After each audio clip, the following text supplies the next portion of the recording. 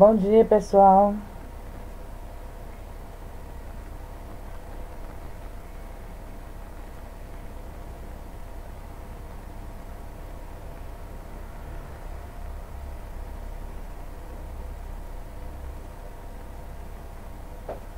Tudo bem com vocês? Sejam todos muito bem-vindos à nossa aula de hoje. Hoje, dia 5 de 6.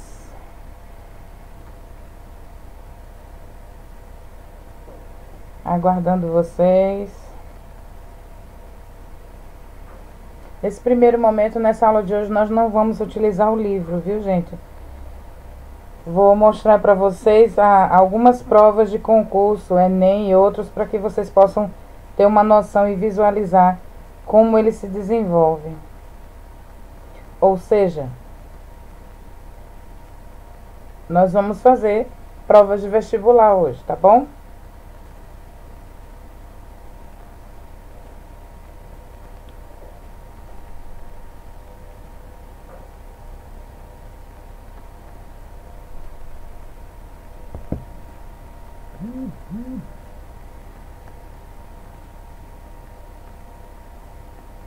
Tudo bem?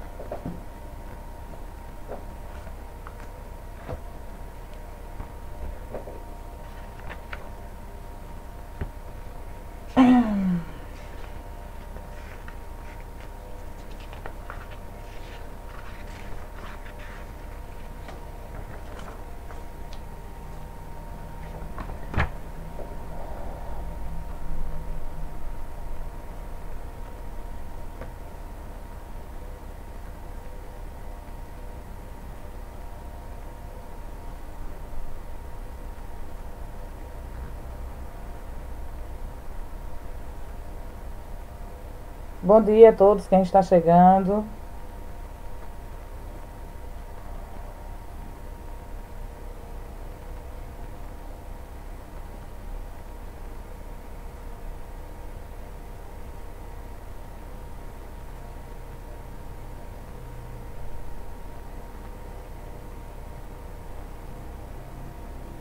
Sejam todos muito bem-vindos.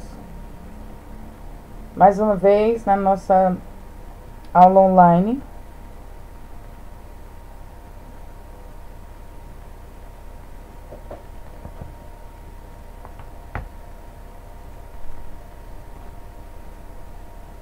Pessoal do primeiro ano.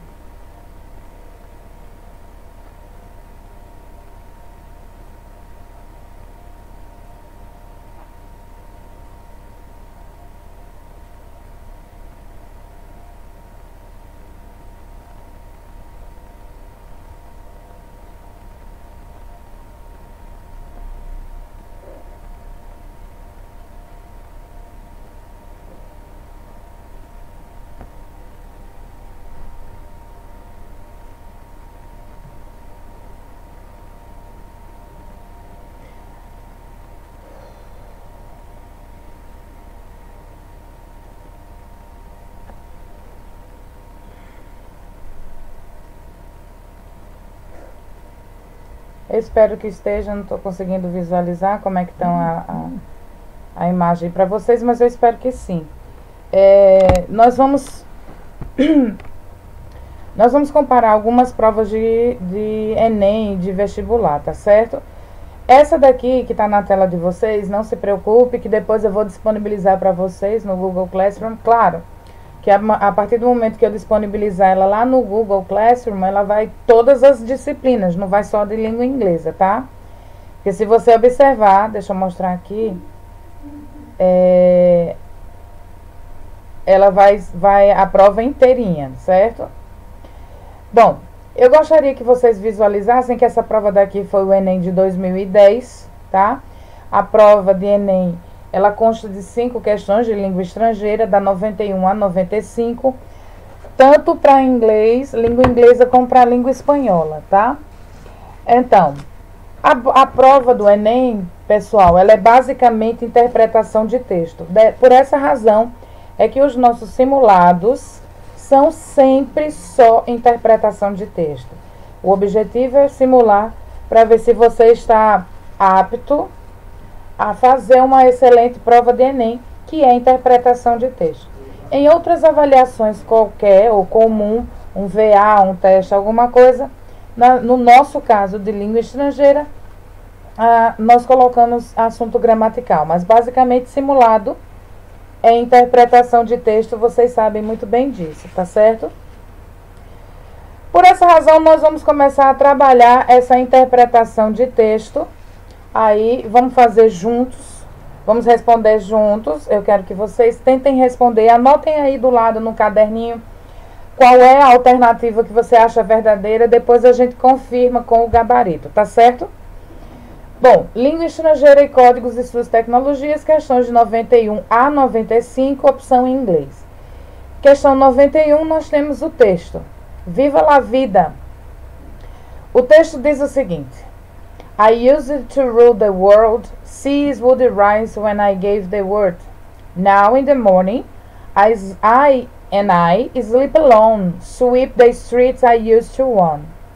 I used to roll the dice, feel the fear in my enemy's eyes. Listen as the crowd would sing. Now the old king is dead. Long live the king. One minute I held the key. Next, the walls were closed on me, and I discovered that my castle stands upon pills of salt and pills of sand. Fonte bibliográfica: Martin C. Viva la Vida, Coldplay, in Viva la Vida or Death and All His Friends. Parlophone 2018. É interessante a gente sempre dar uma olhadinha na fonte bibliográfica, ou seja, de onde veio a fonte de origem do texto, porque muitas vezes em prova de vestibular, em simulados, vamos fazer assim, em simulados também é comum ter algum indicativo que te vai te ajudar, te auxiliar na resposta das questões, tá certo? Bom,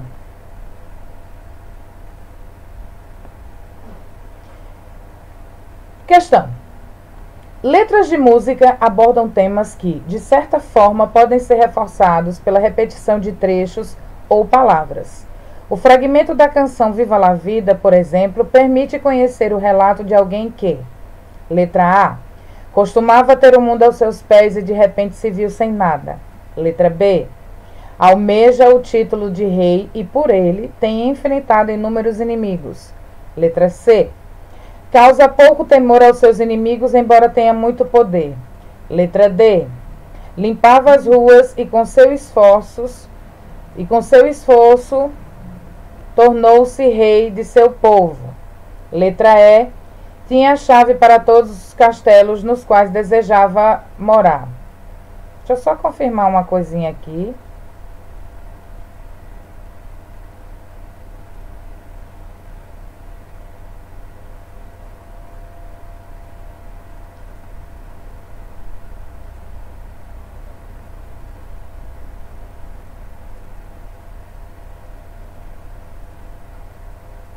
Gente, vocês estão conseguindo visualizar?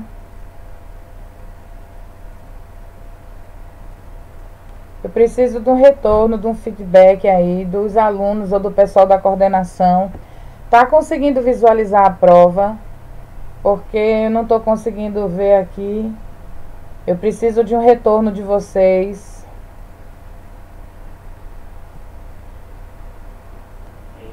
Por gentileza. Me deem um retorno aí, por favor.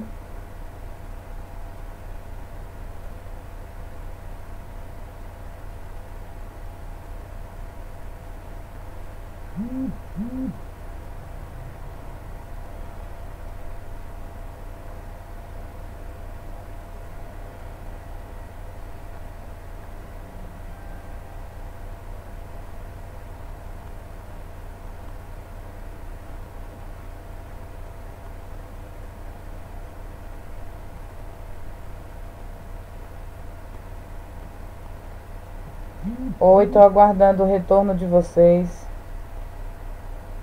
Me dê um retorno, por favor, se vocês estão conseguindo visualizar.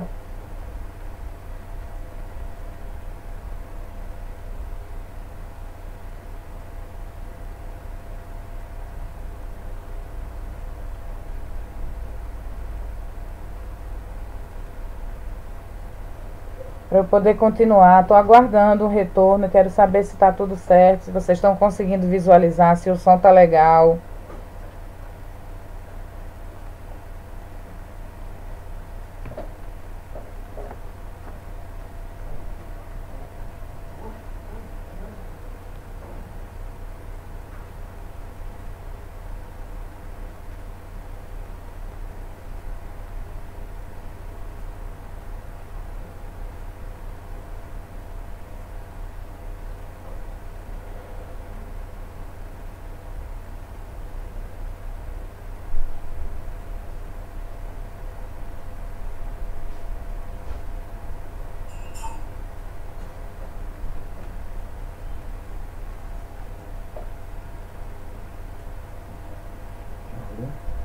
Tchau.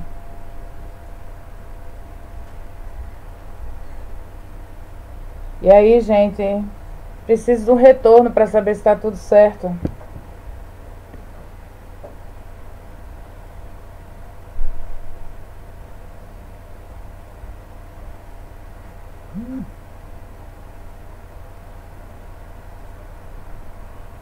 Preciso de um retorno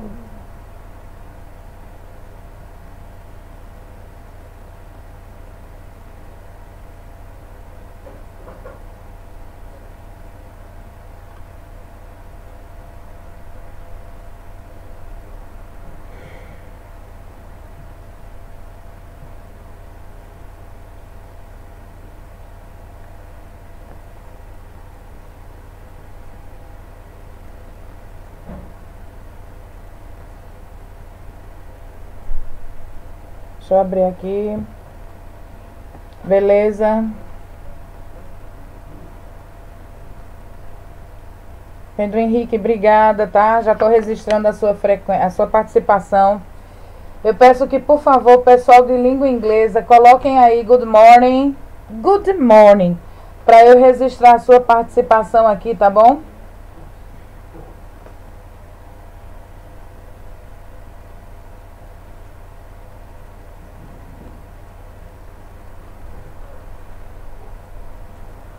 Então vamos lá, gente. Eu espero que, que vocês tenham acompanhado o início da nossa aula. Eu fiz a leitura do texto, eu fiz a leitura do primeiro texto da prova de 2010, tá? A primeira questão, na realidade, lembrando que a prova, ela consiste em questão, tá? Deixa eu diminuir aqui, abrir de novo, diminuir esse. Então vamos lá. O interessante que eu quero que vocês observem é que isso é um poema. É comum na prova de Enem ter poemas, tá? E os poemas da língua inglesa, eles são bem diferentes da língua portuguesa. Em português, os poemas são mais rebuscados. Tem a questão de metáfora, tá? Eles fazem muito uso na língua portuguesa, nós fazemos uso de metáforas. É, já na língua inglesa, não. Ele busca uma rima mais dura. Se você observar, ó, a primeira, a última palavra da primeiro verso, world, vai rimar com a segunda world. Aqui você vai ver, ó, na segunda parte, ó, I used to rule the dice. Feel the fear my enemy's eyes. Ele já bota a rima aqui, ó. Sing rima com king. Key rima com me. Stand rima com send. Bom, então nós não temos uma, uma definição é, muito diferenciada do que seria um poema. É bem claro como a gente consegue visualizar logo que é um poema. Porém, comparando a língua inglesa com a língua portuguesa, a língua portuguesa é muitíssimo mais rica em metáforas, em, em determinados jogos de linguagem, que a língua inglesa não é, tá? Falando especificamente da prova, observe que sempre vai aparecer assim, um texto e logo abaixo do texto um pequeno enunciado que vai fazer um breve comentário sobre algo e só depois, aquele, no finalzinho, é que ele vai dizer qual é a pergunta. Esse texto daqui, a princípio, você pode achar estranho porque o título dele é Viva la Vida, ou seja, é em espanhol. Ok, Júlia, Júlia Malheiros presente. Fábia Xavier também. Bom dia, bom dia, amores. Então, assim, é, o que que acontece? Algumas pessoas ficam confusas porque ficam que, que, achando que a pergunta é muito grande. Não, a pergunta não é muito grande. Existe um enunciado que é grande e sobre esse enunciado ele traz umas informações que vai te ajudar a entender o que, que ele quer no texto. Veja, letras de músicas abordam temas que, de certa forma, podem ser reforçados pela repetição de trechos ou palavras. Porque isso aqui é uma letra de uma música. Olha a fonte. É de Coldplay, tá? Então, o que, que as músicas fazem? Elas fazem exatamente isso. Elas, de uma certa forma, reforçam a repetição de trechos de palavras. Aí diz: o fragmento da canção Viva la Vida, por exemplo, permite conhecer o relato de alguém que. Aí a gente vai para o texto novamente. Essa expressão aqui, ó, use the to, é por essa razão que a gente às vezes vê assunto gramatical. Bom dia, amores. Bom dia, Ana Luísa. É por essa razão aqui, ó, que a gente vê assunto gramatical. Use the to é uma expressão, não é o verbo usado. Used to significa costumava. Costumava. Então, I used to rule the world. Eu costumava rule, regrar, dar regra. Eu costumava dar regra no mundo. Eu costumava mandar no mundo. Sea would rise when I gave the world. Os mares levantavam quando eu des, quando eu dava uma palavra. Uh, now in the morning I sleep alone. Agora pela manhã eu durmo só. Sweep the streets I use the to one. De novo use the to, viu? E esse sweep é varrer. Então, sweep the streets I used to one. Varro as ruas que eu costumava ser o dono. Só esse estrofe a gente já consegue responder qual seria a questão. Não coloca a resposta aqui que a gente vai já já ver o gabarito. Eu peço que você, no seu caderno, aí do lado, escreva, por favor, lembrando que depois eu vou disponibilizar no Google Classroom essa prova para vocês, para vocês imprimirem, marcar, como você achar melhor. Escolha uma das alternativas verdadeiras para essa questão. Questão 91, coloque assim no caderno de vocês para vocês se orientarem, tá? Enem 2010, questão 91, a escolha uma dessas alternativas aqui. Letra A, B, C ou D. Fábia.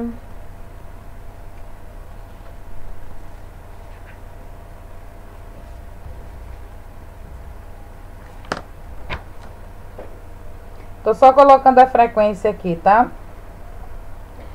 Bruno, Ana Luísa, Ana Carolina. Na, Nayana.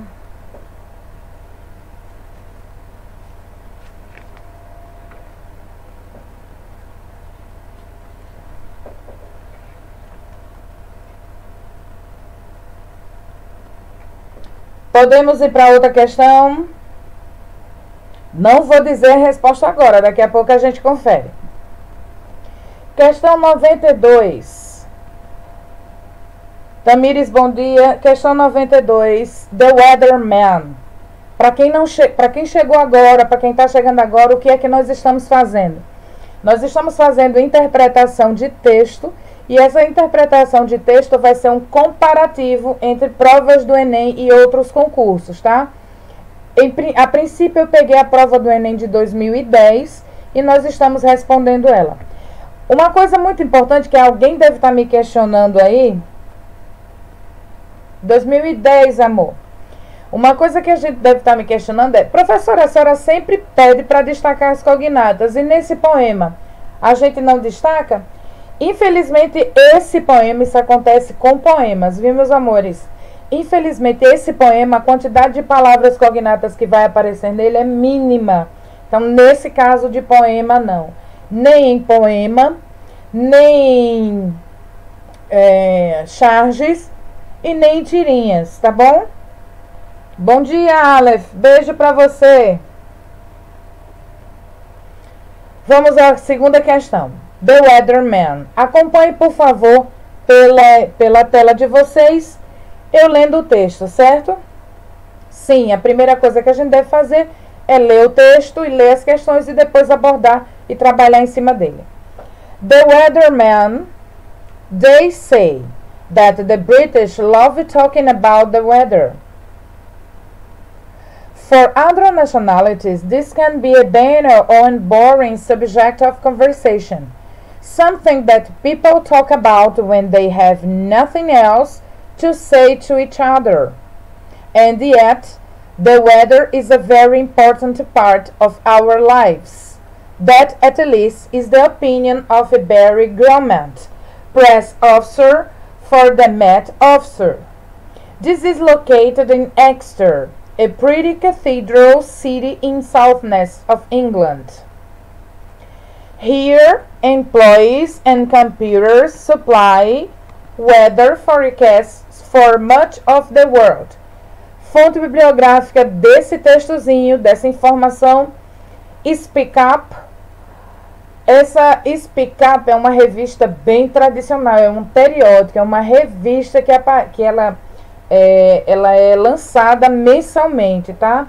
E muitas provas de concurso, os professores, é, a banca elaboradora tem o hábito de pegar informações, textos publicitários dessa revista. Por isso, meus amores, uma coisa, um alerta para vocês aí já serve para todas as disciplinas, não só para a língua inglesa, tá? Fiquem atentos toda vez, preste atenção, uma dicasinha que serve para todas as disciplinas. As bancas elaboradoras têm o hábito de, em algum momento da prova, de todas as matérias, colocar um texto, uma informação de atualidade, ou seja, de um periódico. Por isso que é tão importante você ser uma pessoa atualizada, uma pessoa que está sabendo das informações que estão rolando no mundo, tá bom? Vamos para a questão. Ao conversar sobre a previsão do tempo, o texto mostra. Bom dia, Ana Gabriela. O texto mostra, letra A, o aborrecimento do cidadão britânico ao falar sobre banalidades.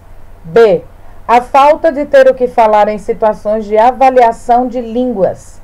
C, a importância de se entender sobre meteorologia para falar inglês. D, as diferenças e as particularidades culturais no uso de uma língua. E, o conflito entre diferentes ideias e opiniões ao se comunicar em inglês. Bom, vamos voltar ao texto. Voltando ao texto, tentando identificar palavras que sejam fáceis para nós, nós vamos focar exclusivamente em cognata e estrangeirismo. Professora, por que, que a senhora não coloca também palavras conhecidas? Porque palavras conhecidas eu não tenho como colocar, porque depende de cada um de vocês, tá? Então, se eu for colocar palavras conhecidas, eu tenho umas palavras que eu conheço, vocês têm outras. Júlia tem uma determinada quantidade de palavras que ela conhece. Mesma coisa, Pedro, Aleph. Isso é pessoal, tá certo, amores? Mas cognato e estrangeirismo, não. Então, vamos lá. Na, no título não tem, mas a gente sabe, acredito que todos vocês saibam que seria man. Na primeira linha do texto, nós podemos dizer que British seria uma palavra cognata. Por que British seria? Porque lembra britânico. Então a gente considera.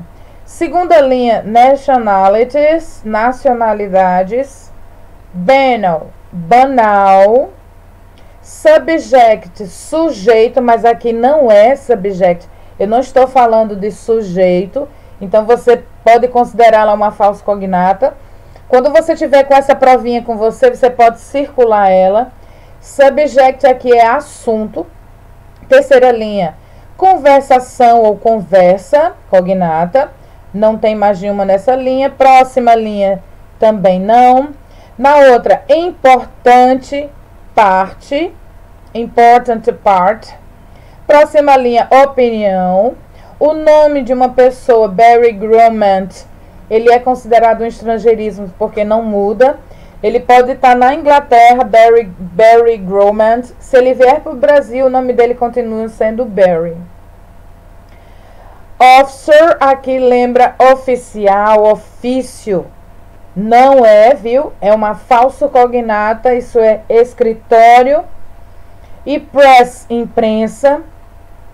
Met é a abreviação de meteorologia em inglês, então a gente fica atento a ela, porque pode ser o verbo encontrar no passado, mas como aqui está em letra maiúscula, é a abreviação de meteorologia.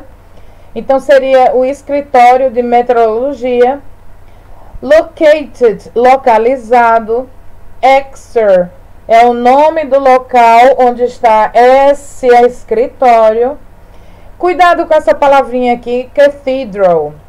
Pretty Cathedral City. Pretty Cathedral City. A palavra city, todo mundo sabe que é cidade. Cathedral nos lembra catedral. E pretty é bonita, mas aqui é pequena. Preste muita atenção nessa expressão, tá? Essa expressão pretty cathedral, eu quero dizer, é aquela bonitinha, não no sentido pejorativo, aquela coisa mimosa. Como eu estou falando de city, como eu estou falando de uma cidade, essa cidade, ela é acolhedora, pequenininha, conchegante. É uma cidade que tem só uma igrejinha, daí vem a referência do nome cathedral. Mas essa expressão, pretty cathedral, é ótima aparecer aqui para vocês, para vocês ficarem cientes. É quando você quer dizer que algo é mimoso, algo é, é singelo, tá? Então essa cidade, ela é uma cidadezinha, certo?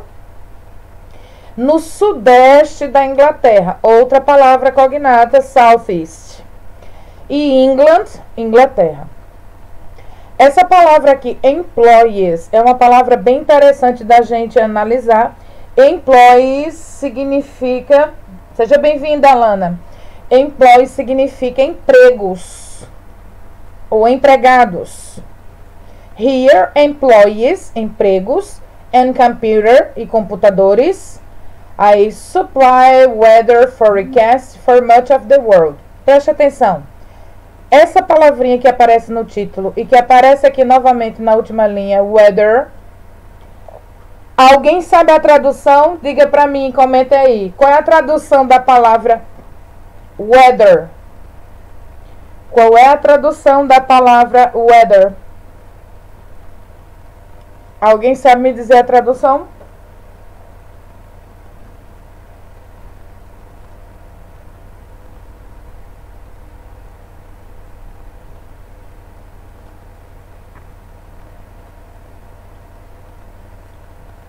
Olhando. Weather. Por que, que eu estou pedindo? Porque é uma palavra extremamente importante para a gente entender o texto. E aqui no finalzinho do texto tem o weather forecast. Weather forecast. Se alguém souber a palavra composto, weather forecast, melhor ainda. Weather, Ana Luísa, muito bem, Júlia Malheiros, clima, weather, clima. E o weather forecast, ou seja, seria transmissão, ou eu só digo transmissão, mas não é não, é, é... Olha aí, vai, ajuda a professora. A professora não está achando a palavra. Aquilo que Maju fazia. Ela fazia o quê? No jornal? Weather Clima, Fábia também respondeu, muito bem.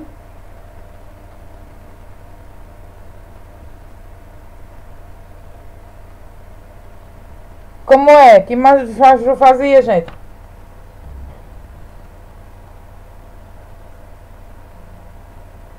Passou batido. Previsão do tempo, Pedro Regis. É. Muito bem, Pedro Regis. Pre previsão do tempo. Weather forecast, previsão do tempo, tá certo? Muito bem. Então, por que, que essas palavras são importantes? Porque olha aqui. Ao conversar sobre a previsão do tempo, o texto mostra. Vamos para o They say that the British love talking about the weather. Diz-se, preste atenção, fala-se que os ingleses amam conversar sobre o clima. For other nationalities, this can be a banal and boring subject of conversation. Para outras nacionalidades, isso pode ser um tema de um assunto chato ou entediante para uma conversa. Something that people talking about when they have nothing else to say to each other. Em algumas nacionalidades, é esse assunto, falar do clima, falar do tempo, seria algo que as pessoas usam para conversar quando tem nada mais interessante para falar.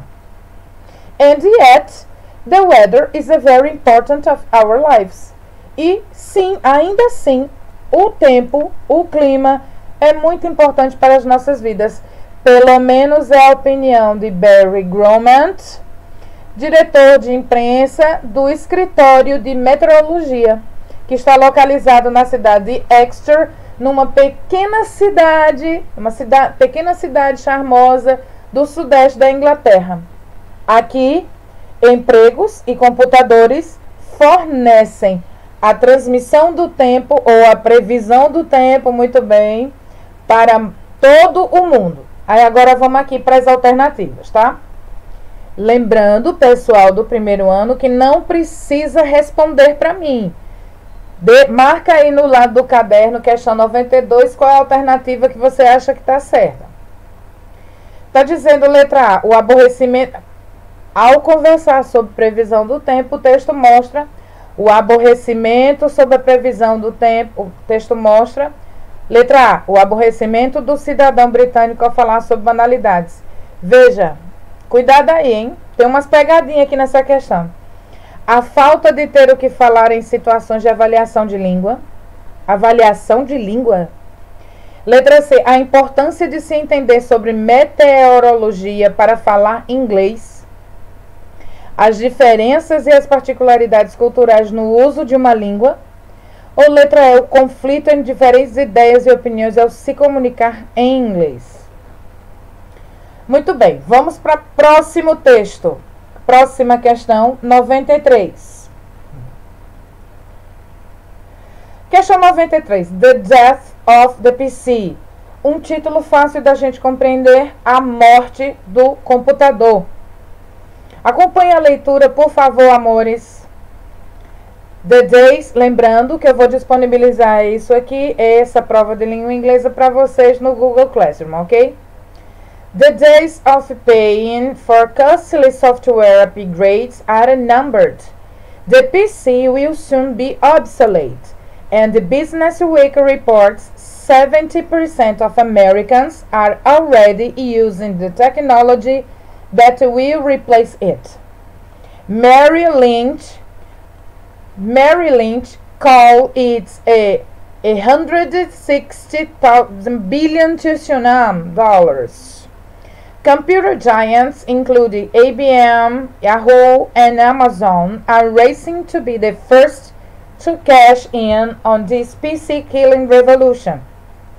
Yet, two little known companies have a huge red start get their names in a free report from the Motley Fool College. The two words Bill Gates doesn't want you to hear. Click here for instant access to this free report. Brought to you by the Motley Fool.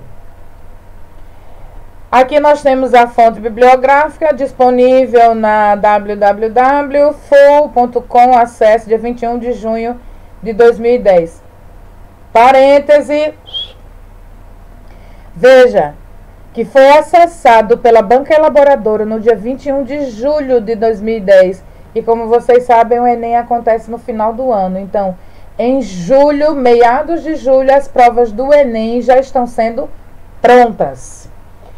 Questão: Ao optar por ler a reportagem completa, Sobre o assunto anunciado, tem-se acesso a duas palavras que Bill Gates não quer que o leitor conheça e que se refere, letra A, aos responsáveis pela divulgação dessa informação na internet, B, as marcas importantes, mais importantes de microcomputadores do mercado.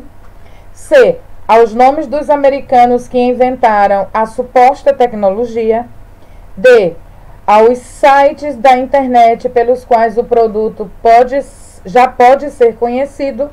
Ou letra E. As empresas que levam vantagens para serem suas concorrentes. Detalhe. Veja, isso aqui é um anúncio, tá? Vamos para o texto novamente. Isso aqui é um anúncio que foi colocado em alguma página, alguma coisa, é, que falava sobre a morte do computador, a morte do PC em si, daquele desktop, tá? A gente consegue observar várias palavras cognatas e estrangeirismos aqui que vai nos ajudar a entender o texto.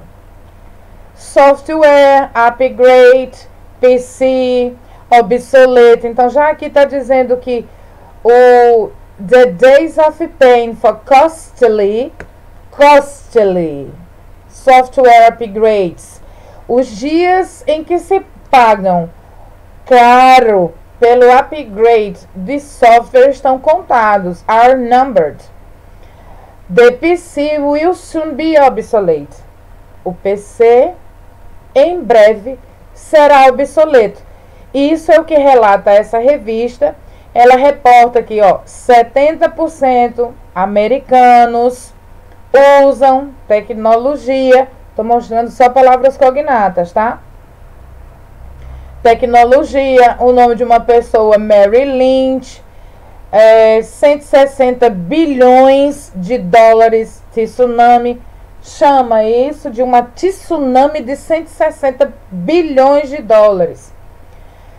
É, Computer Giants seria gigantes da computação, incluído IBM, Yahoo, Amazon. Aí, cash é um estrangeirismo que significa dinheiro em dinheiro. PC, PC, Revolution. A palavrinha killing é fácil da gente identificar porque é bem conhecida, principalmente quem assiste filmes. Killing, a morte, tá? Revolucionar, revo, a revolução da morte do PC. Companies, companhias, names, nomes. Free também é um estrangeirismo muito utilizado, que é livremente report, reportar ou relatar. Aqui é o nome da empresa Motley Fool. Uh, Bill Gates, que é a sumidade da informática.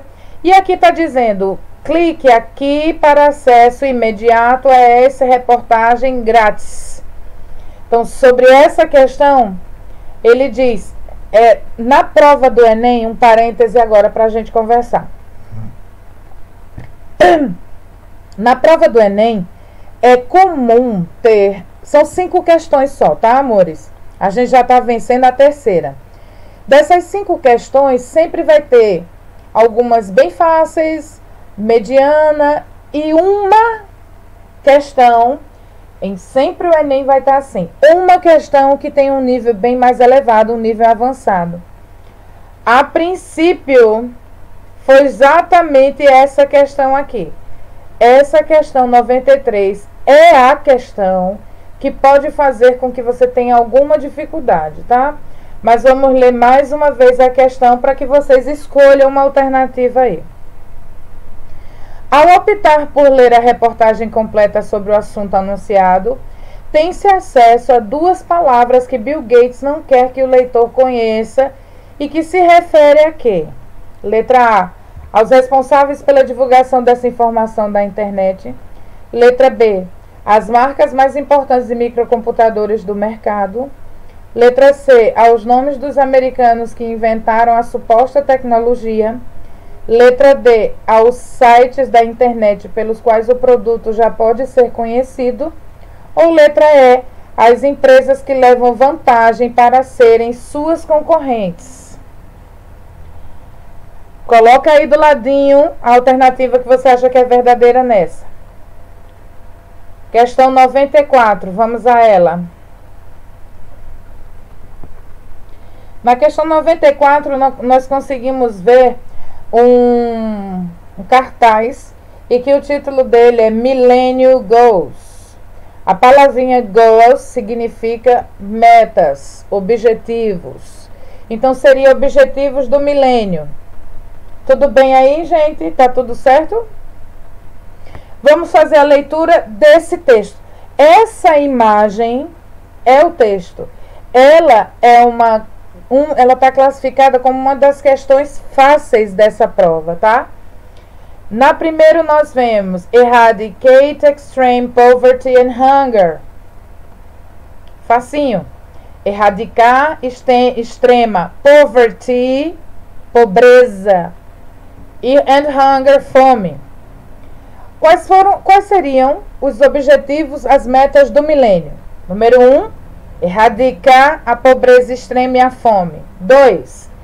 Achieve Universal Primary Education adquirir educação universal primária. 3. Olhe sempre o símbolo, viu, gente? Que o símbolo nos ajuda a entender. Pelo menos esclarece um pouco. 3. Promote gender equality and empower women. Promover a igualdade de gender, gênero, and empower women e o empoderamento feminino. 4 Reduce child mortality. Facinho, né? Reduzir mortalidade infantil. 5. Olha a imagem. Improve maternal health. Melhorar a saúde materna. 6. 6. Olha aqui, ó, um remédio. Combat HIV, AIDS, malaria and heart disease. Combater HIV é o AIDS, a malária e outras doenças. Diseases, doenças. Seven, sete, árvore. Ensure environmental sustainability, assegurar a sustentabilidade do environmental, ambiental, do meio ambiente. Oito, Pessoas juntas, a Global Partnership for Development, ou seja, desenvolvimento de parcerias globais. Então aqui nós temos as metas do milênio, tá? Pelo menos isso no ano de 2010. Fonte bibliográfica: Chris Alexander, Cole, é, companhia. Esse UK, vocês sabem que é, é United Kingdom, Reino Unido. Foi acessado no dia 28 de julho de 2010 e está adaptada. Questão: Definidas pelos países membros da Organização das Nações Unidas, a ONU, e por organizações internacionais, as metas de desenvolvimento do milênio envolvem oito objetivos a serem alcançados até 2015. Hã? Hã? Cadê? Alcançar até quando? Alcançar até 2015, gente. Vejam, peguei até o, o isso aqui é um rolinho que eu uso para amassar minha massa. Vocês estão no meu ateliê. Essas metas aí são usados, foram desenvolvidos oito objetivos a serem alcançados até 2015. Nós já estamos em 2020. E eu pergunto, amores, quantas dessas metas aí nós já alcançamos? Não precisa me responder, vamos continuar.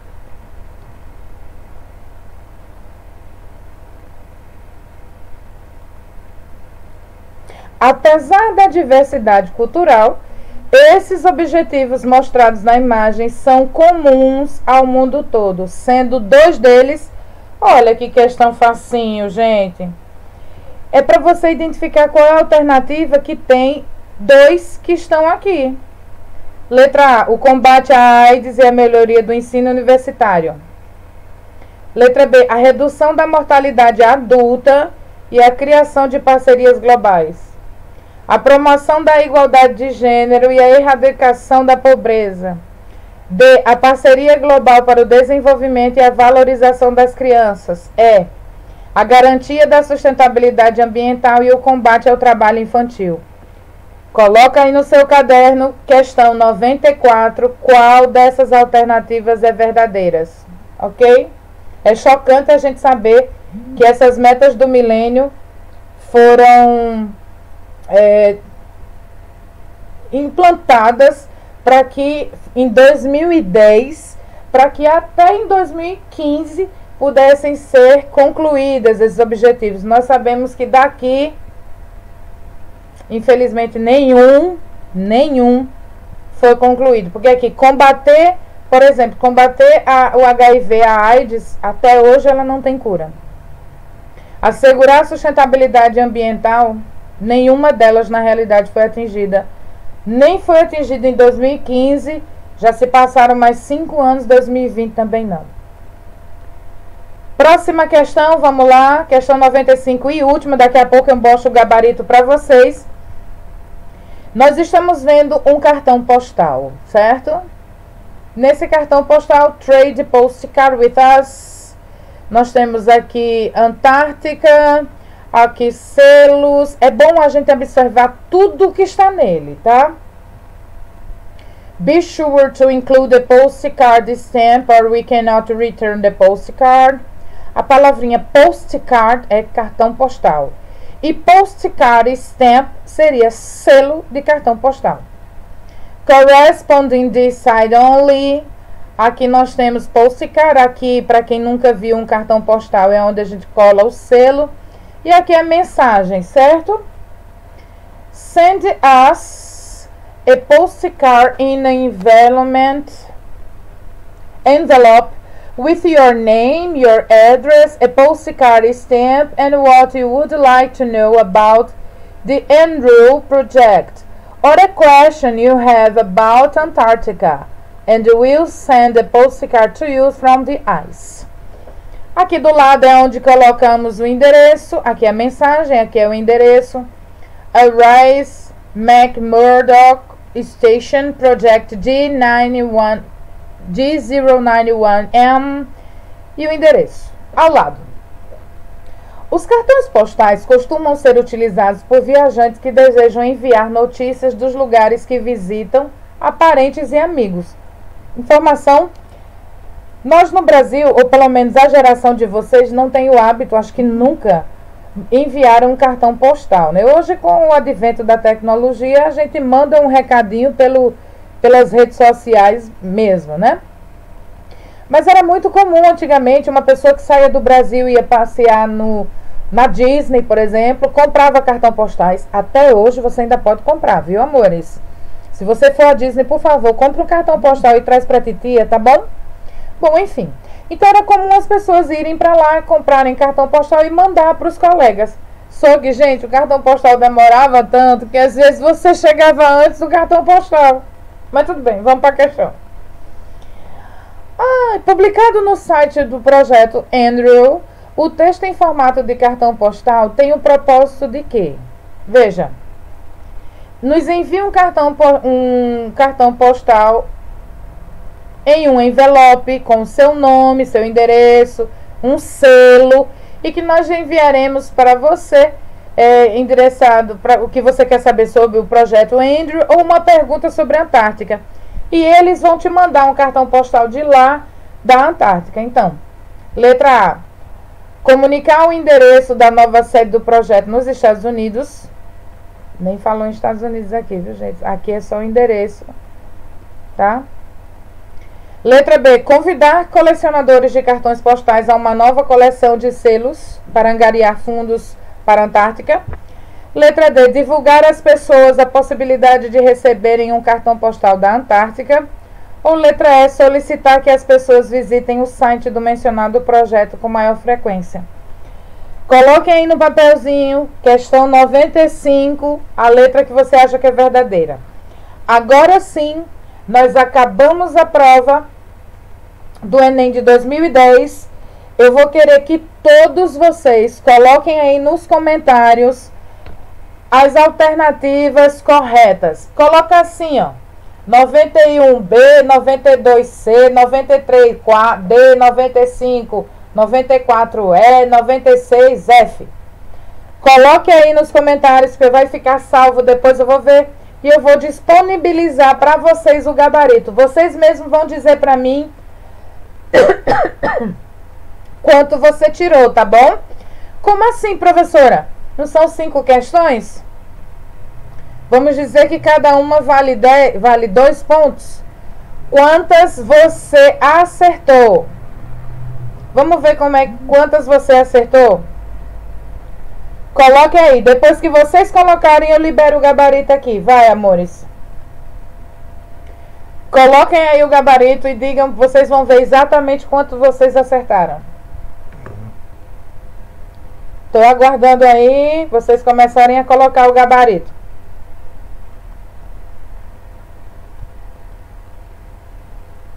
Chegou mais gente, foi? Porque tinha, acho que tem 1, 2, 3, 4, 5, 6, 7, 8, 9, 10, 11. Eu tenho 11 presenças aqui, tem 22 pessoas assistindo. Que máximo! Bora lá, amores? Cadê as alternativas de vocês?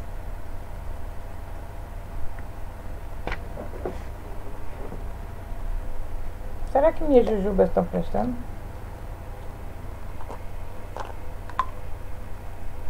Não, tem que ser tudo de uma vez, Pedro. Todas elas. Coloque uma do lado da outra. Não é assim, não. Só uma alternativa, não. Eu quero todas as questões. Viu, Pedro Henrique? Coloca as outras questões também. Você só botou a, a 1, 91.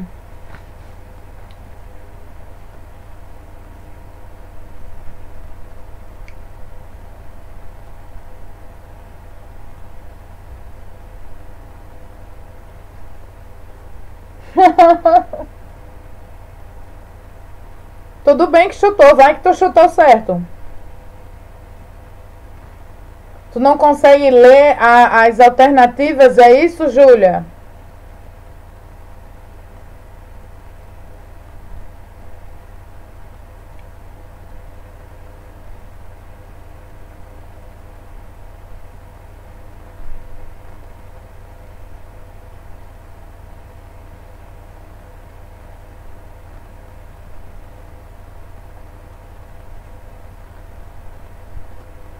Olha, Pedro Regis já respondeu.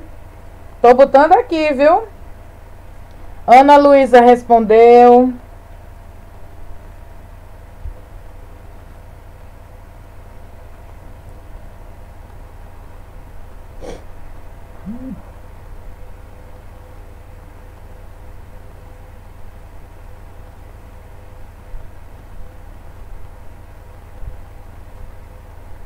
Pedro Henrique também. É Pedro Henrique Fidelis, é? Digam aí pra mim, porque tem. No Epitácio também tem Pedro Henrique. Eu quero saber se é Fidelis que tá assistindo minha aula. Ô, oh, linda. Tudo certo, meu amor. Dei beijo até errado. Se preocupa com isso não, Júlia. É só pra gente ver.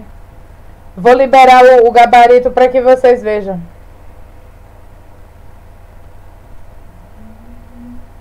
Gilvan. Gilvan estava assistindo e não deu presença, né, Gilvan?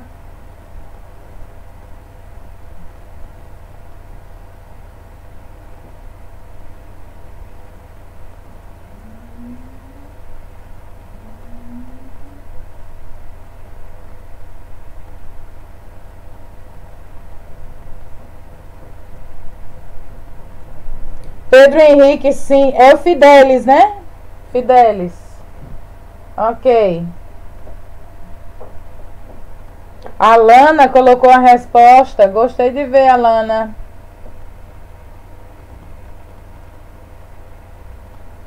Eduardo Domingos.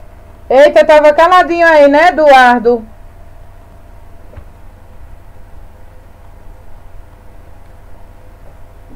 Bora, minha gente, agiliza nisso. Que povo mais devagar. Aqui eu já tô com o gabarito para mostrar para vocês, ó. Naya, é Nay, Nayara.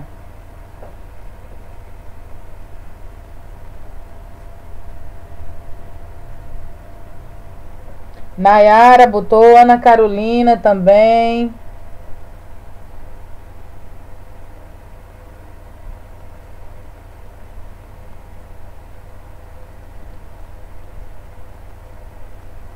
Nayara Carvalho.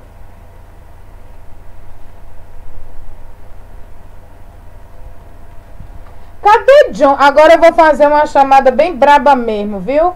Cadê John? Cadê é, Gisandra? Cadê Levi? Esse pessoal não tá assistindo aula, não é? Olha o gabarito. Questão 91.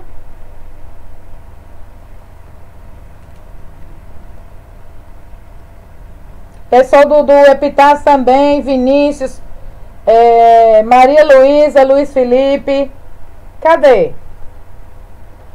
Ó, mas vamos lá, concluindo nossa aula, questão 91. Letra A, parabéns, Fábia, Alana, Eduardo, Ana Carolina.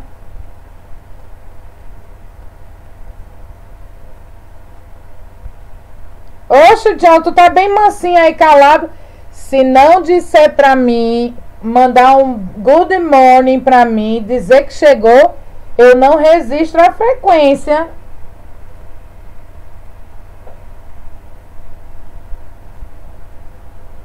Olha aí, questão letra 91, letra A. Questão 92, letra D. Várias pessoas acertaram.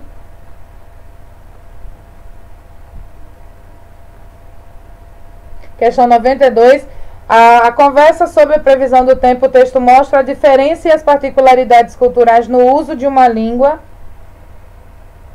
93, que é essa daqui, que fala sobre o, a morte do PC. Raquel, caladinha também, Raquel e Yumi.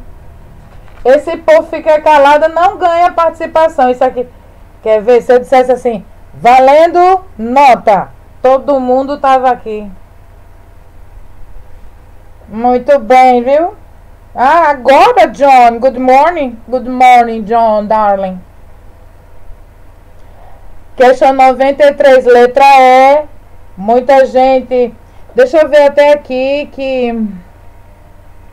Olha aí, Pedro Regis. Pedro, Pedro Regis. Você chutou questão 93, letra E e acertou. Tá vendo aí?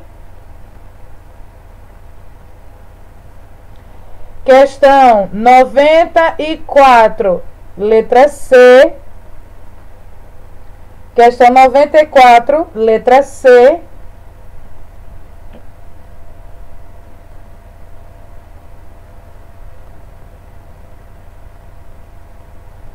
Noventa e quatro, letra C. E a última questão, questão noventa e cinco, letra D. O objetivo, o texto em formato de cartão postal tem o propósito de divulgar às pessoas a possibilidade de receberem um cartão postal da Antártica. Tudo bem, amores? Estamos terminando nossa aula.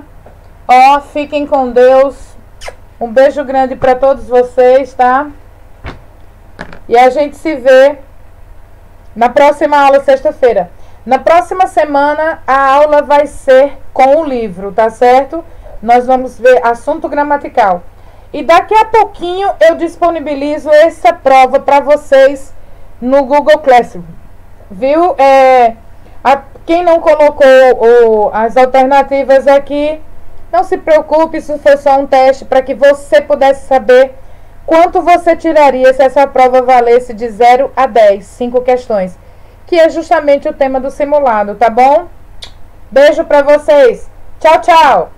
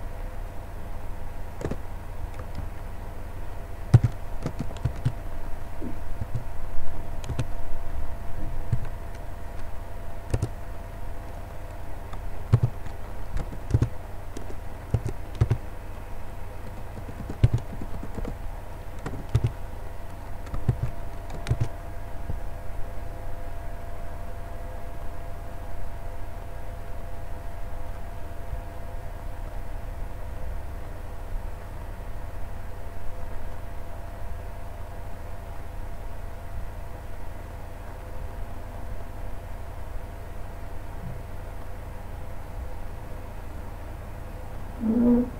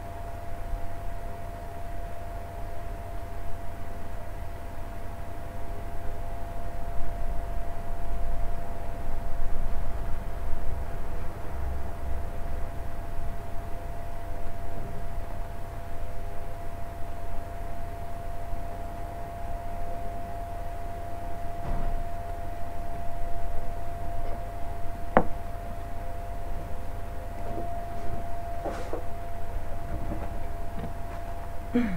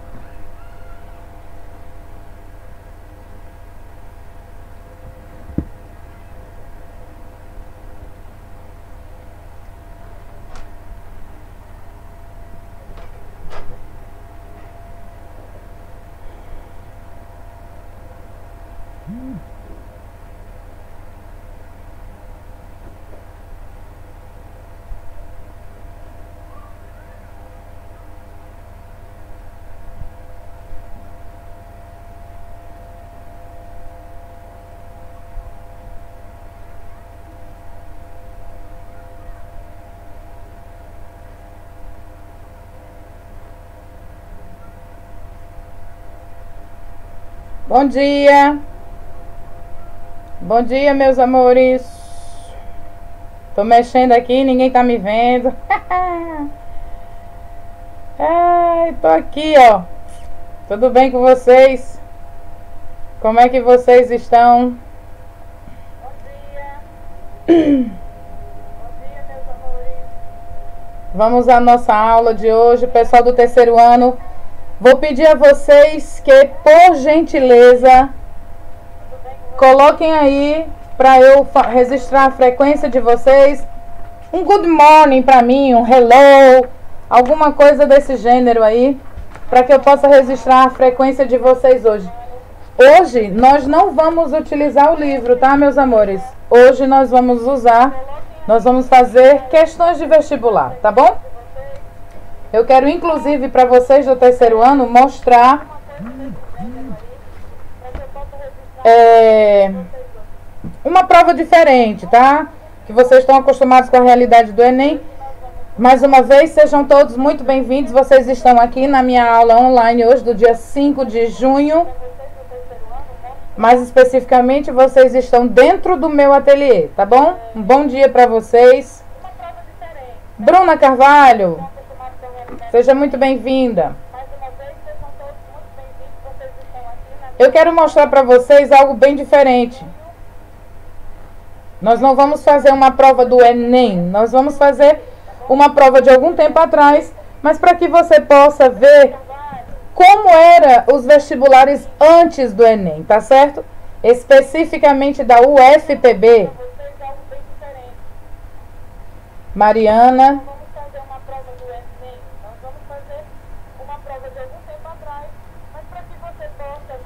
Mariana Colasso, bom dia. Vamos lá. Olha aqui.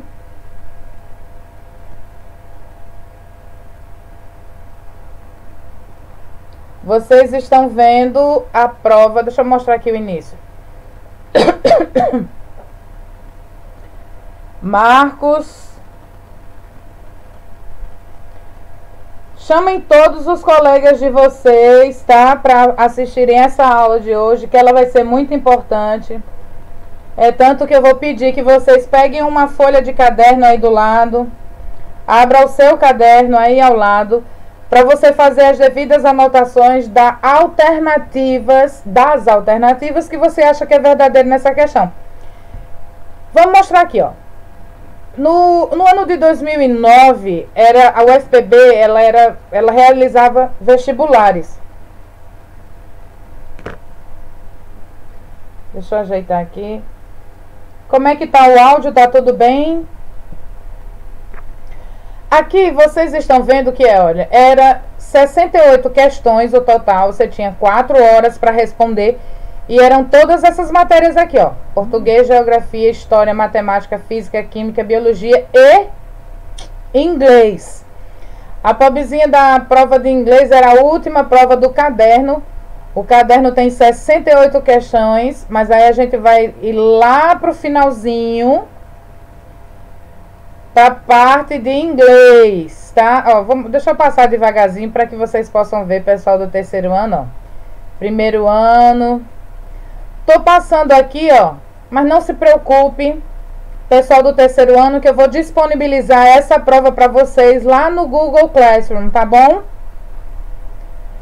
Por gentileza, quem for chegando, coloca aí a presença, coloca aí para mim que você está assistindo a aula. Bota aí nos comentários. Ó.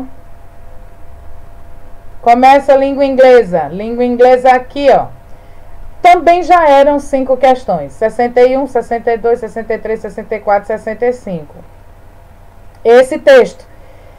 E tinha mais três questões. Na realidade, é, a UFPB, quando tinha vestibular, ela, prova de língua inglesa eram 60, eram oito questões, tá? E é o que nós vamos fazer aqui hoje.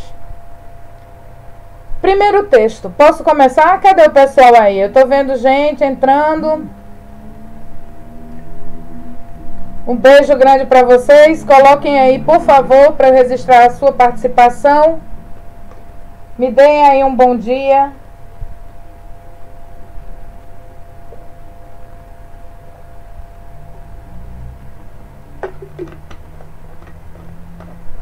Vamos lá? Teste 1, texto 1. O título do texto, ó, na realidade não. Deixa eu mostrar aqui, ó. A prova, ela era temática. Como assim temática? Veja que aqui em cima tem Global Food Scarcity, ou seja, a escassez alimentar mundial. Então, esse era o tema da prova.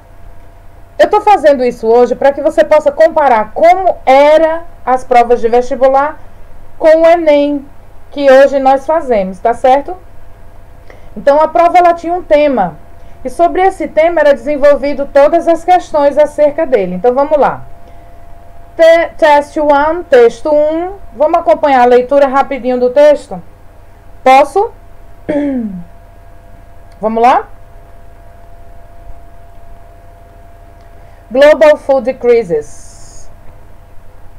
Across the globe, soaring food prices, the highest since the mid 1970s, are forcing more and more of the world's poor and disadvantaged children to go hungry. The World Food Programme predicted that 30 countries, 30 countries will face particular pressure to feed their people this year. Riots have been reported in 13 four countries around the globe over the cost and the scarcity of food. However, this is not a short-term problem. Food crop prices are expected to remain in extraordinary levels through 2010 and remain high for at least a decade. The rising cost of food will force many families to make a difficult decision on how to spend their money. Parents may have to cut back on what and how much food they can provide their families, with remove their children from school because they cannot afford both the food and the school fees, reduce spending on health, or still sell key productive assets in order to cope with the dairy economic circumstances.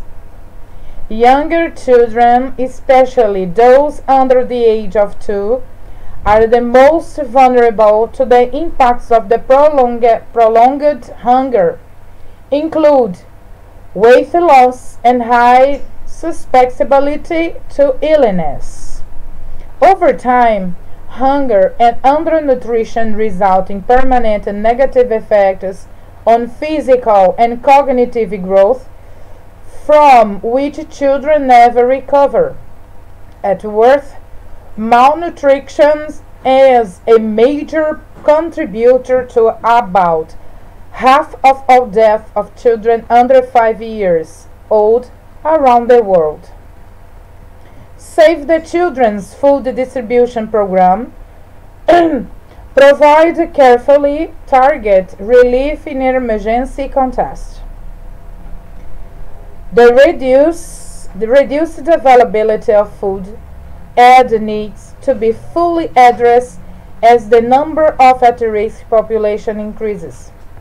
Save the Children's long-term program also play a critical role in mitigating the food crisis. Two key programs, food security and hunger and malnutrition, aim to ensure that the children live in food security household and are well nourished. Disponível em. É interessante a gente olhar a fonte bibliográfica. Diga, mãe. Gente, depois de ler o texto, ó, só um, um tchauzinho para vocês do meu filhote que fica aqui assistindo a aula comigo. Certo, mamãe. Deixa a mamãe dar aula aqui. Dá tchauzinho. Tchau!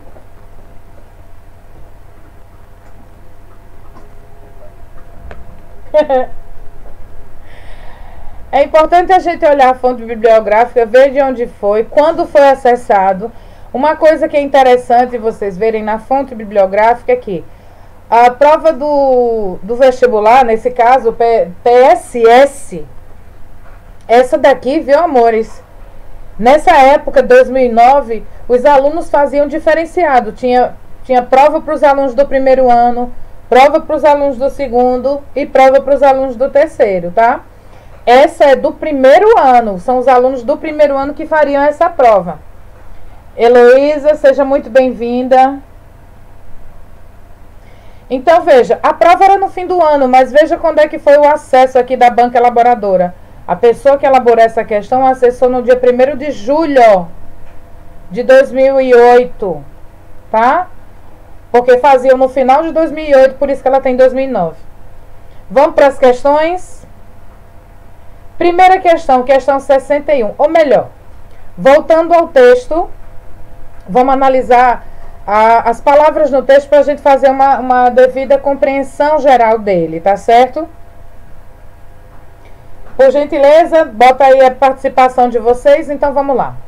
No título a gente já vê palavras cognatas, global e crise. Aqui está no plural, crises, porque é, essa palavra está em latim. E em latim, o singular dela é crises, com ES. Então, algumas palavras da língua inglesa permaneceram em latim e é assim mesmo as suas regras, tá certo? Então, veja. Primeiro parágrafo, palavras cognatas. Lembrando, palavras cognatas Bom dia, Gisele. São aquelas palavras de origem grega e latina que, devido a isso, a sua origem, a escrita dela lembra sua tradução. Estrangeirismo. São palavras de origem estrangeira que nós usamos sem tradução e sem alterar nada. A gente usa como se essas palavras estivessem em português. Elas são palavras que nós podemos dizer que foram aportuguesadas, tá bom, amores? Então vamos dar uma olhada nessas palavras. Primeiro parágrafo, Globo. Meados de 1970, forçando na outra linha. Essa palavra daqui, ó, disadvantage, significa desvantagem. Veja que tem vantagens. Vantaged. Dis é um prefixo que indica negação. Desvantagens. Nós temos programa, predict, prever, 30, o numeral na outra linha. Will face, will face é o verbo encarar, face é uma palavra cognata, particular, pressão, ainda aqui, ó, 34, 34, próxima linha. Globo, cost, custo, scarcity, escassez, vocês sabem o que é food, é comida, né? Short term. Short é um, uma palavra que ela em si não é cognata. Ela pode ser considerada um estrangeirismo, porque a gente gosta de usar como vestuário short. Short significa curto. Então, short term problem seria problemas a curto prazo, a curto tempo, ou curto termo. Próxima, expected, expectancy, extraordinary, extraordinário, 2010. E década. Segundo parágrafo, Eduardo, um beijo para você, seja bem-vindo. cost, força, custo, forçar, famílias, dificuldades, decisões. Não é para você anotar essas palavras não, viu, meus amores? É só para você acompanhar. Lembrando que eu vou disponibilizar essa prova para vocês no Google Classroom. Decisões, próxima linha. Falso cognatas, nós temos a palavra parents, que parece parentes, mas são os pais. Próxima, nessa linha, famílias, aqui no finalzinho. Removem, remover, escola, ó. Escola novamente. Essa palavrinha aqui, school fees. Essa palavrinha pequenininha aqui, ó, fees. Seria mensalidades, tá? Mensalidades escolares. Reduzem. Próxima linha. Produtivo. Econômica. Circunstâncias. Próximo parágrafo. Uh, especially, especialmente especialmente duas uh, impactos prolongado, incluindo. Vocês viram o passando aqui? incluindo sustentabilidade. Uh, subnutrição, undernutrition, result, resultado, permanente, permanente, negative effects, efeitos negativos, physical, físico, cognitivo, cognitivo. Então veja que essa frase daqui, ó, uh, over time, hunger and undernutrition result in permanent negative effects on physical and cognitive growth seria Uh, há muito tempo, a fome e a malnutrição são resultados de efeitos negativos permanentes do crescimento físico e cognitivo. Próxima linha, nós temos palavra cognata malnutrição. Major é uma falso cognata, porque parece major, mas é maior. Contribuição. Aqui nós temos o numeral 5 e na outra linha não tem. Último parágrafo. Save the Children's Food Distribution Program seria Save the Children, salve as crianças. Só para vocês verem que ela está em negrito. Nós temos um programa de distribuição, uh, emergência, contexto. Próxima linha, nessa linha do contexto, reduzindo a viabilidade, risco, a última palavrinha dessa linha, população, de novo, Save the Children, Long Term Program, um programa a longo termo, critical, crítico, na outra linha, crises, programas, seguridade, seguridade malnutrition, malnutrição. Essa palavrinha ensure seria assegurar. É interessante a gente ver ela. Secure, seguro. E pronto. A primeira questão diz assim. Questão 61. Começa o trabalho de vocês agora, viu? Coloquem aí no caderno de vocês o FPB 2009 Questão 61. Basta botar a alternativa que você acha que é verdadeira. Não precisa botar no grupo agora não, tá bom? Match the ideas to its corresponding paragraph. Marque a ideia com seu parágrafo correspondente. Veja que aqui nós temos primeiro parágrafo, segundo, terceiro e quarto. Questão 1. Primeira coluna nós temos, number one, consequences of hunger on children. Consequências da fome nas crianças. 2. High food prices and famine around the world. O alto preço dos alimentos e a fome no mundo. 3. Importance of Children's Program on Food Distribution. A importância do programa de distribuição de alimentos para as crianças. 4. Negative effects of food prices on home economy. Efeitos negativos dos preços dos alimentos na economia do lar. 5. Some examples of weight loss program. Alguns exemplos do programa da perda de peso. Então veja, na número 1 um, tem consequência da fome infantil. 2. O preço dos alimentos, alta dos alimentos e a fome no mundo. 3. A importância do, da distribuição de alimentos para a criança. 4. Os efeitos negativos dos preços na economia do lar, não é na economia mundial, do lar. 5. Alguns exemplos de programa sobre perda de peso das crianças. Então, o primeiro parágrafo é uma introdução do texto que fala da escassez do, da, dos alimentos no mundo. Daí você já tem a ideia de qual seria o parágrafo, tá? Vou até mostrar para vocês o segundo parágrafo seria o aumento do custo dos alimentos forçam muitas famílias a ter dificuldades em decidir em que gastar dinheiro, também indica. Então é para vocês relacionarem essas ideias com qual parágrafo é cada um.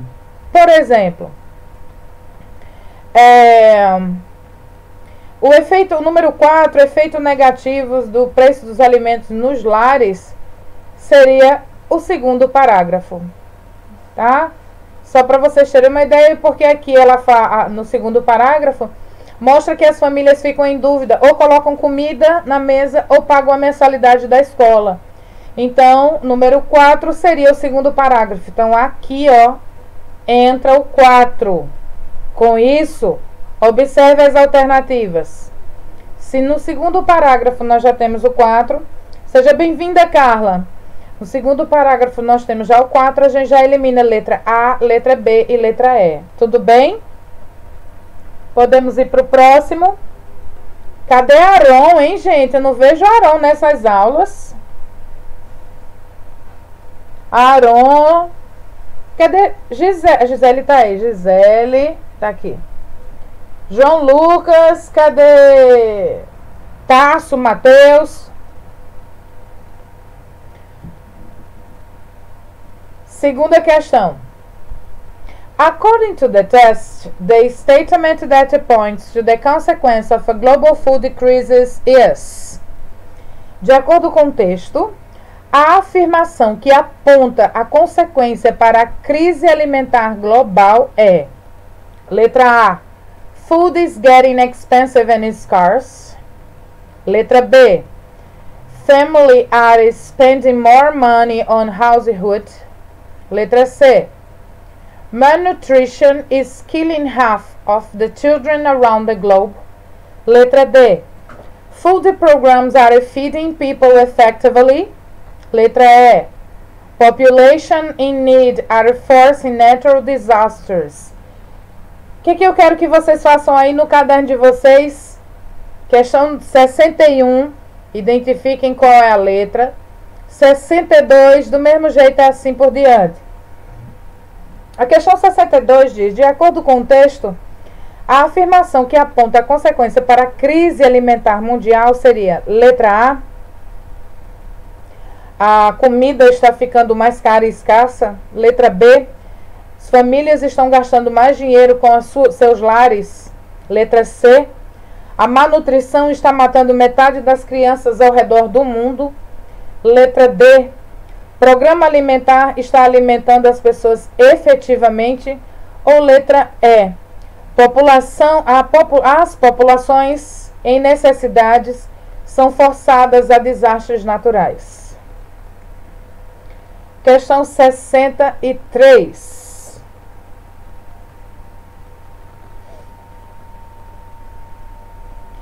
Based on the reading The paragraph 3, it is correct to say that. Baseado na leitura do terceiro parágrafo, é correto afirmar que Vamos ao terceiro parágrafo, fazer uma leitura dele novamente. Vamos lá. Primeiro, segundo, terceiro. Começa na linha 10, viu? Acompanha aí a leitura do terceiro parágrafo. Vamos lá, amores. Young children, especially those under the age of two, are the most vulnerable to the impacts of prolonged hunger, including weight loss and high susceptibility to illness. Essa primeira frase diz: é, crianças jovens, especialmente aquelas abaixo de dois anos, estão mais vulneráveis ao impacto prolongado da fome, incluindo a perda de peso e a alta suscetibilidade a doenças. Over time, hunger and undernutrition result in permanent negative effects on physical and cognitive growth, from which children never recover. Há muitos anos, a fome e a má nutrição têm resultado, resultado de uma, efeitos negativos permanentes de, do crescimento da físico e cognitivo, ou seja, está afetando diretamente a, a malnutrição, a fome afeta diretamente como efeito negativo o crescimento da criança e o, e o cognitivo, aprendizagem for which children never recover, na qual crianças nunca se curam. At worst, para piorar, malnutrition is a major contributor to about half of all deaths of children under 5 years old around the world. Para piorar, a malnutrição é o principal ou o maior contribuinte para aproximadamente metade da, da, de todas as mortes de crianças abaixo de 5 anos no mundo. O que está que querendo dizer? Que metade do total de crianças mortas até os 5 anos no mundo é de fome e nutrição, má nutrição. A partir daí, questão 63 quer dizer, quer, a partir da leitura do terceiro parágrafo, qual é correta? Letra A The majority of all deaths of children is connected to malnutrition. Que a maioria da morte de todas as crianças, de todas as mortes das crianças está conectada à malnutrição. Letra B. Long-term hunger will affect children's health both physically and mentally. A fome prolongada afetará a saúde mental e física das crianças. Letra C. All children are sensitive to the impacts of hunger in the same way. Todas as crianças são sensíveis ao impacto da fome do mesmo modo. Letra D. Predisposition to illness is the only problem that results from malnutrition. A predisposição à doença é o único problema resulta resultado da malnutrição. E letra E, young children can easily recover from the damages of hunger. Jovens crianças podem facilmente se curar da, de danos relacionados à fome. Um parêntese, uma informação very, very, very important. Uma informação muito importante para vocês. Fiquem atentos, meus amores do terceiro ano, tá? Que vocês vão fazer Enem. Quando vocês encontrarem alguma alternativa que tenha all, todos, always, sempre, já comentei isso com vocês, viu? Lembra, Mariana? É, eu comentei em sala de aula ano passado e esse ano também.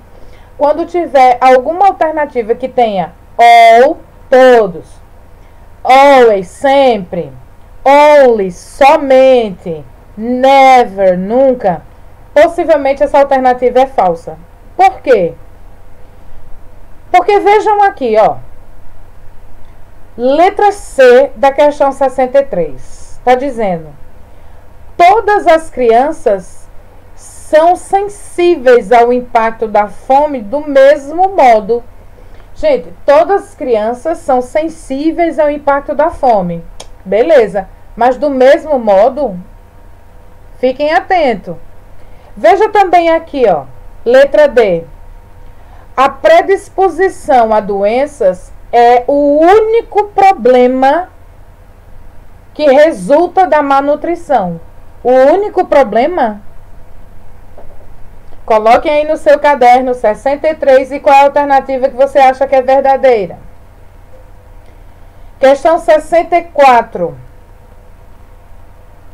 Identify the question whose answer is in the paragraph 4. Identifique a pergunta. Você veja que na questão 64 nós vamos ter cinco perguntas, na qual a resposta está no parágrafo 4. Vamos para o parágrafo 4 mais uma vez. É interessante a gente fazer isso para a gente confirmar a nossa resposta, tá? Parágrafo 1, 2, 3 e 4. Parágrafo 4 é o que inicia com Save the Children. Vamos lá?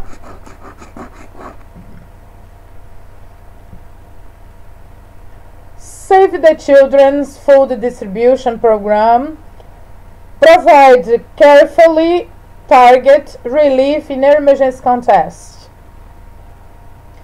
O programa de distribuição alimentar Save the Children, Save the Children é o nome do programa, tá? Proporcionam cuidadosamente um alvo para a contexto emergencial. The reduced availability of food aid needs to be fully addressed as the number of at-risk population increase. A viabilidade, a redução da viabilidade dos alimentos é, com os alvos de necessidade está amplamente endereçado ao número ao, a, a, é, que cada vez aumenta mais de risco da população. Save the Children's long-term program also play a critical role in mitigating the food crisis. O programa de longo termo, a longo prazo, Save the Children, ele também lida com uma situação crítica, com toda a situação crítica da crise alimentar. Two key programs. Dois programas chaves. Food Security seguridade do alimento and hunger e a fome and malnutrition e malnutrição. Aim to ensure that the children live in food security household and are well nourished. O objetivo é assegurar que as crianças vivam de maneira segura em seus lares com alimentação apropriada e bem nutridas. A partir desse parágrafo, nós podemos dizer: a pergunta A é respondida nesse parágrafo? Vamos ver qual é a pergunta A. How much food do children's program distribute? O quanto, a quantidade de comida que esse programa da criança distribui? Responde na pergunta. Qual a quantidade de comida que o programa de crianças distribui? Responde no quarto parágrafo. Letra B. Who benefits from the increasing of food crisis? Quem se beneficia com o aumento da crise alimentar? Letra C. How many children do food program assist? Quantas crianças o programa assiste? É o programa alimentar da assistência. Letra D. Where do well-nourished children play? Onde as crianças podem viver bem em harmonia. Letra E. What are the objectives of food program? Quais são os objetivos do programa, dos programas alimentares? Questão 65. In the sentence, na frase, Save the Children's long-term program also play a critical role in mitigating the food crisis. Line 17.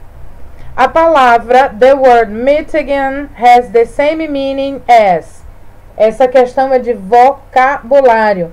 Essa palavra, mitigating, teria o mesmo significado que qual? Letra A, forcing. Letra B, removing. Letra C, reducing. Letra D, intensifying. Ou letra E, rising. Próxima questão. Já mudou o texto, tá? Questão 66 a 68. Atenção, as questões de 66 a 68 apresentam mais de uma afirmativa correta. Oi? Isso mesmo, meus amores.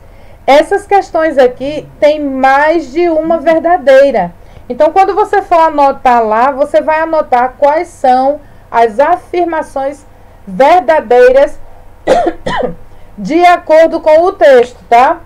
Isso era, era dessa forma que aparecia o, a prova do vestibular da UFPB.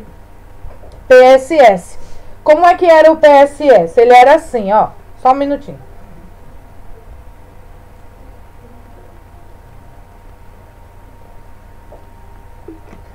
Eram oito questões.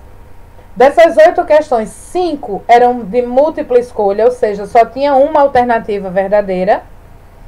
E três questões elas, elas eram chamadas de múltiplas assertivas, ou seja, tinha mais de uma verdadeira. Então, observa aqui, por exemplo, a questão 67 tem a afirmação 1, 2, 3, 4 e 5. No gabarito vinha escrito isso aqui. Questão 64, diferente como é o simulado, que vocês sabem, o Enem, vem a questão e vem letra A, B, C, D e E. Não é assim? Até a questão 65 era assim. É assim. Vinha A, B, C, D e E. A 66, por exemplo, a questão vinha, questão 66, aí. Afirmação em algarismo romano. 1, 2, 3, 4, 5. As que forem verdadeiras, você marcava. Pode ser uma, não. Sempre mais de uma. Então vejam aqui que vocês vão ver que tem mais de uma alternativa verdadeira, tá? Vamos lá? Primeiro, olhem a atenção que tem aqui, ó. Isso aqui é a prova do PSS, Processo Seletivo Seriado, de 2009 da UFPB. Atenção, as questões de 66 a 68 apresentam mais de uma afirmativa correta. Preencha na folha de resposta apenas os espaços bolhas correspondentes às, às afirmativas corretas. Então já está indicando que tem mais de uma. Teste 2, texto 2. Analisem esse texto 2. Vou fazer uma pergunta a vocês aí valendo ponto, viu? Sorry, o camarada diz: I'm busy saving the planet. Aqui nós temos bioethanol, pure corn. Placa do carro dele tem uma, um adesivo Go Green. E nós temos essa imagem aqui. O que é que vocês conseguem identificar dessa imagem? Digam para mim. Não quero saber a tradução não, mas eu quero que vocês escrevam para mim aí nos comentários. É bem pessoal esse comentário, tá? Nós temos o camarada abastecendo o carro com bioetanol, tá? Analisando, interpretando a imagem. Nós estamos vendo um, ca um camarada abastecendo o carro com bioetanol. Ele chega e fala alguma coisa para essas pessoas. Ele diz: Sorry, I'm busy saving the planet. Desculpe ou perdoe, eu estou ocupado é, salvando o planeta. Analisem aí, por favor, essa imagem. Todas as pessoas que estão aí, vai valer ponto para todos, tá? Analisem essa imagem. Que crítica você pode fazer a essa imagem? Digam para mim. Que crítica vocês fazem a essa imagem? Camarada abastecendo o carro, que está escrito Go Green, com bioetanol, e vira para algumas pessoas que estão ali atrás, possivelmente são pedintes, e diz: Perdoe, eu estou ocupado salvando o planeta. Qual é a sua crítica sobre essa imagem? Vou aguardar que eu quero que vocês escrevam aí para eu colocar a participação de vocês. Vamos lá?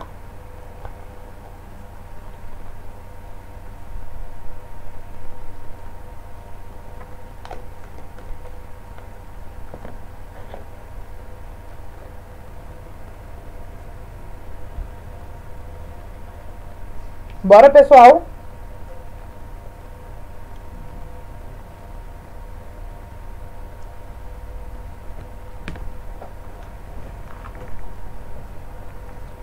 Digam para mim. Escrevam aí, analisem, escrevam. Vejam a imagem com atenção. Que crítica você faz a essa imagem?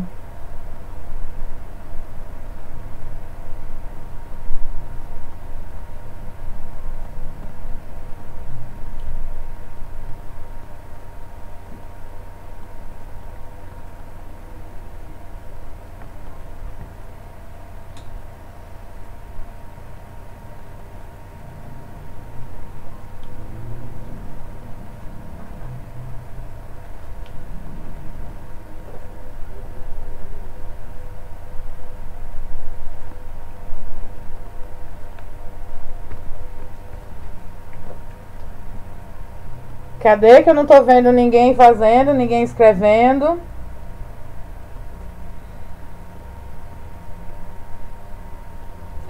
Tô aguardando, vou dar uns minutinhos para vocês colocarem aí.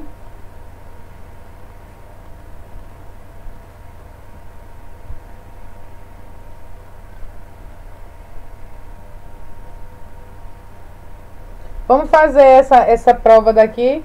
Muito bem, Bruna colocou que ele está usando uma coisa que não é tão agressiva ao meio ambiente.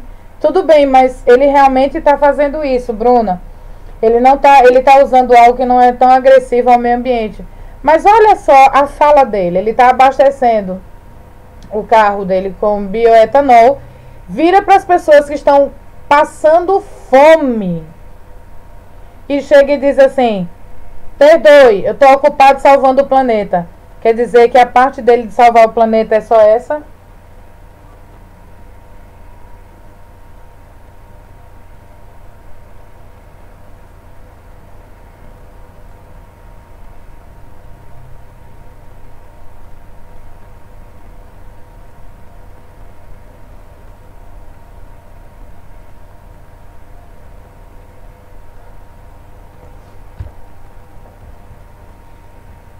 Marcos, eita, gostei de ver que ele está tentando usar um combustível que não é tão agressivo.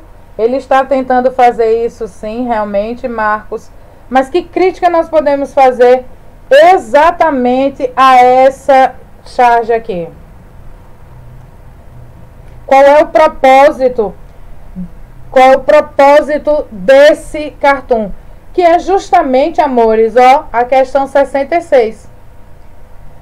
Qual é o propósito desse cartoon? Deixa eu só diminuir um pouquinho aqui para a gente poder ver o desenho, a imagem e a questão 66. É, Bruna, ele deu uma desculpa para não ajudar as pessoas dizendo que estava salvando o planeta. Show de bola, Bruna, agora. Gisele, eu acho porque as pessoas estão pedindo dinheiro e ele está abastecendo o carro e ele não está ajudando as pessoas da rua, mas está fingindo ajudar, afirmando utilizar um gás que provavelmente é poluente. Muito bem, Gisele. Arrasou. Marcos, novamente. E também não está sendo muito legal com as pessoas que estão pedindo. Mariana, ele poderia contribuir com o planeta ajudando as crianças. Exatamente, Mariana. Ele poderia ajudar, contribuir a salvar o planeta, é, contribuindo com a extinção da fome infantil. Mariana, excelente comentário. Muito bem. Tô gostando de ver aqui, viu? Bora, Carla, cadê você? Tá faltando a sua. Carla, Heloísa. Já coloquei aqui a de vocês, viu? Show de bola.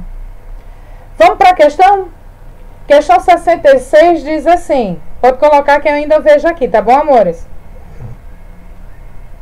Questão 66 diz assim: The statements The statement which propose the aims of the cartoon are as afirmações, lembre tem mais de uma. As afirmações que propõem o objetivo do desenho são: primeira afirmação, to recommend the use of fossil fuel to clean the earth. Será que o objetivo do o objetivo desse cartoon é recomendar o uso de combustível fóssil para limpar o planeta? 2. To illustrate the consequence of bioethanol on human life. Para ilustrar as consequências do bioetanol na vida humana. 3 to denounce the negative social effect of the use of corn as a fuel. Para denunciar os efeitos sociais negativos do uso do milho como combustível. 4. To encourage poor people to go begging on the street. 4. Encorajar pessoas pobres a pedirem nas ruas. Ou 5 to show people's misery as the result of the use of biotechnology. Mostrar a miséria da, das pessoas como resultado do uso do bioetanol. De acordo com o texto, de acordo com o texto, uh, qual é o objetivo desse desenho? Gisele colocou no comentário. Ele não se importou muito em ajudar eles e deu uma desculpa falando que estava salvando o planeta usando um gás menos agressivo ao meio ambiente. Muito bem, Gisele, muito bem. Ou oh, Gisele não, Carla, certíssimo. O que foi? Machucou? Não, vou acertar essa estrada aí. É, do fininho. Você... Eu vou, já tá tudo aí. Eu deixei a feira lá, tudo. Vou ver Ricardo. Daqui a dois minutinhos, seu camarada pode ser que chegue. Não precisa esperar. Tá de papel terminar aí? A primeira tá. A segunda? Digo que o mamãe está mandando um abraço pra turma. Tá bom. Desculpa aí, viu, gente? É porque live tem dessas coisas. Os, as pessoas aparecem. aparecem aqui. Chega logo, aparece, dá logo um oi aqui pros meninos. Oi. Aparecem aqui pra falar. Oi, turma. Bom dia. Bom dia. Muito bem, boa aula. Tô gostando de ver todo mundo participando, hein? Muito importante, viu? Um cheiro de momô. Tá bom. Tchau.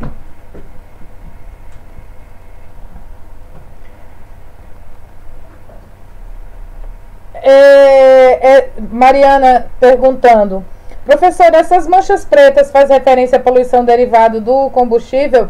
Possivelmente sim, Mariana. Você está certíssima a observação. Exatamente isso. Exatamente isso. Podemos ir para a questão 67?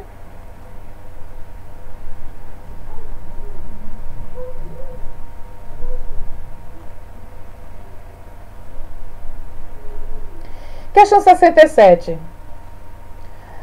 According to the cartoon, identify the correct statements. De acordo com o desenho, identifique as afirmações corretas.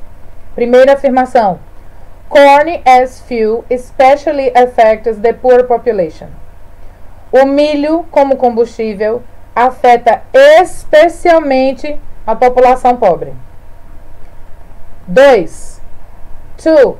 Biofuel is directly connected with global food crisis. O biocombustível está diretamente conectado com a crise alimentar mundial ou global. Terceira, many people are unconscious of the impact of bioethanol. Muitas pessoas estão é, inconscientes ou sem consciência do impacto do bioetanol. 4. Bioethanol is a harmless substitute for fossil fuel. O bioetanol é um substituto menos danoso para o combustível fóssil. 5. Ethanol is dangerous for people who cannot drive a car. Um etanol é perigoso para pessoas que não podem dirigir um carro. Gente. 68. On the men's car, the expression Go Green communicates the message. No carro do homem, a expressão Go Green comunica as mensagens do que? Número 1. Um, people have to use fossil energy. Que as pessoas têm que usar energia fóssil. 2. People ought to plant more trees. As pessoas podem plantar mais árvores ou devem. 3. People must care for the environmental. As pessoas devem cuidar do meio ambiente. 4. People should wear green color clothes. As pessoas deveriam vestir roupas verdes, coloridas de verde. Ou 5. People need to save the planet. As pessoas precisam é, salvar o planeta. Comentários sobre a prova, tá? Primeiro, é importante, vou pedir que vocês façam a, uma determinada coisa aqui nos comentários. Vocês já ganharam essa participação. Só Heloísa, que é Heloísa e Eduardo, que eu não vi os comentários deles, mas tudo bem. Eu quero, eu pedi que vocês fizessem anotação do lado numa folha de caderno quais foram as alternativas verdadeiras. Então vamos voltar para cá, ó. Eu pedi que você colocasse questão 61, qual a letra? 62, qual é a letra? 63, 64 e 65. Qual é a letra verdadeira para cada uma dessas questões? A partir do texto 2, a questão 66, 67 e 68 eu também gostaria que você anotasse aí do lado. Na questão 66, qual é que você, quais são as verdadeiras aqui? Bote um, dois, três. Na questão 67, quais foram as verdadeiras? Questão 68, quais são as verdadeiras? E observem algo com muita atenção. Nessa questão 68, se você observar ela direitinho, você vai ver que aqui ó, tem verbos modais, assunto que nós estudamos. Os verbos modais aparecem aqui, ó. Ought to, o must, o should, até o próprio need também é o verbo modal. Eu quero que vocês anotem aí do lado e depois coloquem nos comentários quais foram as alternativas que vocês escolheram. Daqui a alguns minutinhos, mais precisamente daqui a uns três minutos, eu vou colocar o gabarito para vocês aqui para você ver se vocês acertaram. Então, anotem aí no caderno de vocês. Vamos ver mais uma vez, ó. 61. A relação a a mar, marcar a ideia. Tudo certo? Eu ouvi um barulho. Tudo certo. Questão 61 marca a ideia correspondente ao parágrafo. Qual é a alternativa correta da 61? 62. De acordo com o texto, a afirmação que aponta as consequências da crise global alimentar é. Qual é a questão 62? 63. Baseado na leitura do parágrafo 3, qual foi a alternativa correta? 64. Identificando a pergunta que pode ser respondida no parágrafo 4, qual é a alternativa? 65. Na sentença, Save the Children's long-term program also play a critical role in mitigating the food crisis. A palavra mitigate seria qual, teria qual significado dessas aqui? 66. De acordo com essa imagem que nós já analisamos com propriedade, As afirmações que propõem o objetivo do desenho são: quais são os verdadeiros? Aqui tem duas alternativas verdadeiras, viu, gente? Duas. 67. De acordo com o desenho, identifique as afirmações corretas. Na 67, nós vamos encontrar três afirmações verdadeiras. Três. 68. On the man's car, na, no carro do homem, tem a expressão go green. E essa expressão comunica que mensagens? Na 68 também tem três verdadeiras. Eu quero que vocês, por gentileza, nos comentários, coloquem as suas respostas aí, por favor, para eu anotar aqui. Coloquem as respostas de vocês, por gentileza.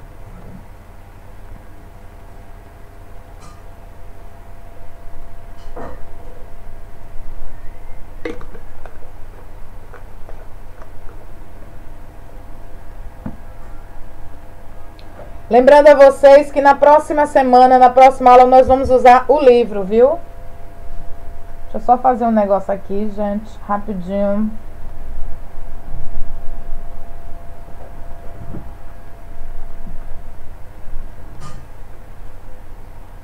Coloquem aí os comentários.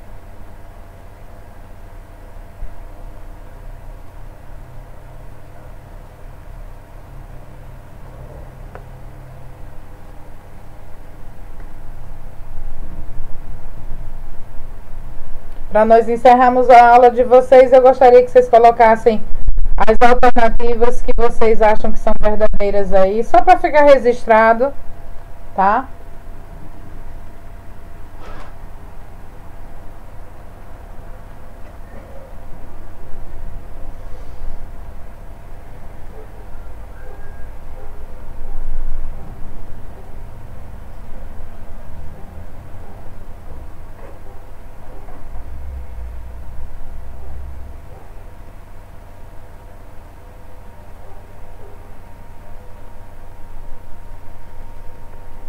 Espero que todos estejam se cuidando, cuidando dos seus.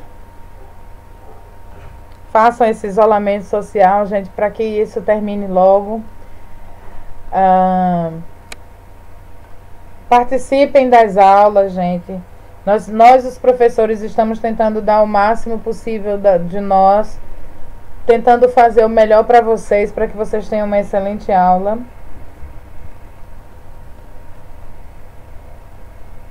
E a gente possa se ver, né? Nosso objetivo é esse. Hum.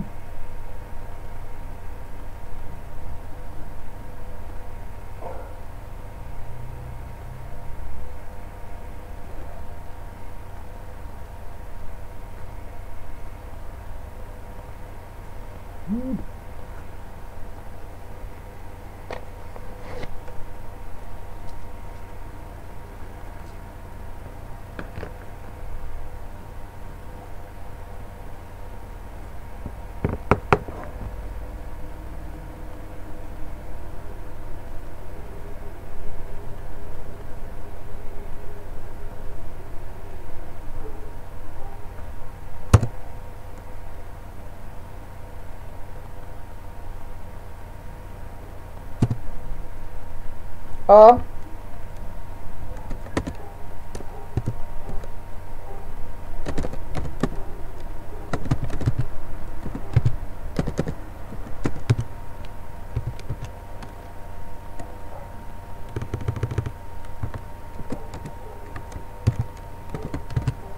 Gabarito PSS 2009 para vocês conferirem Gente do céu, que arraso. Minha mãe tá assistindo a aula. tá vendo? Mãe é mãe. Beijo, mãe.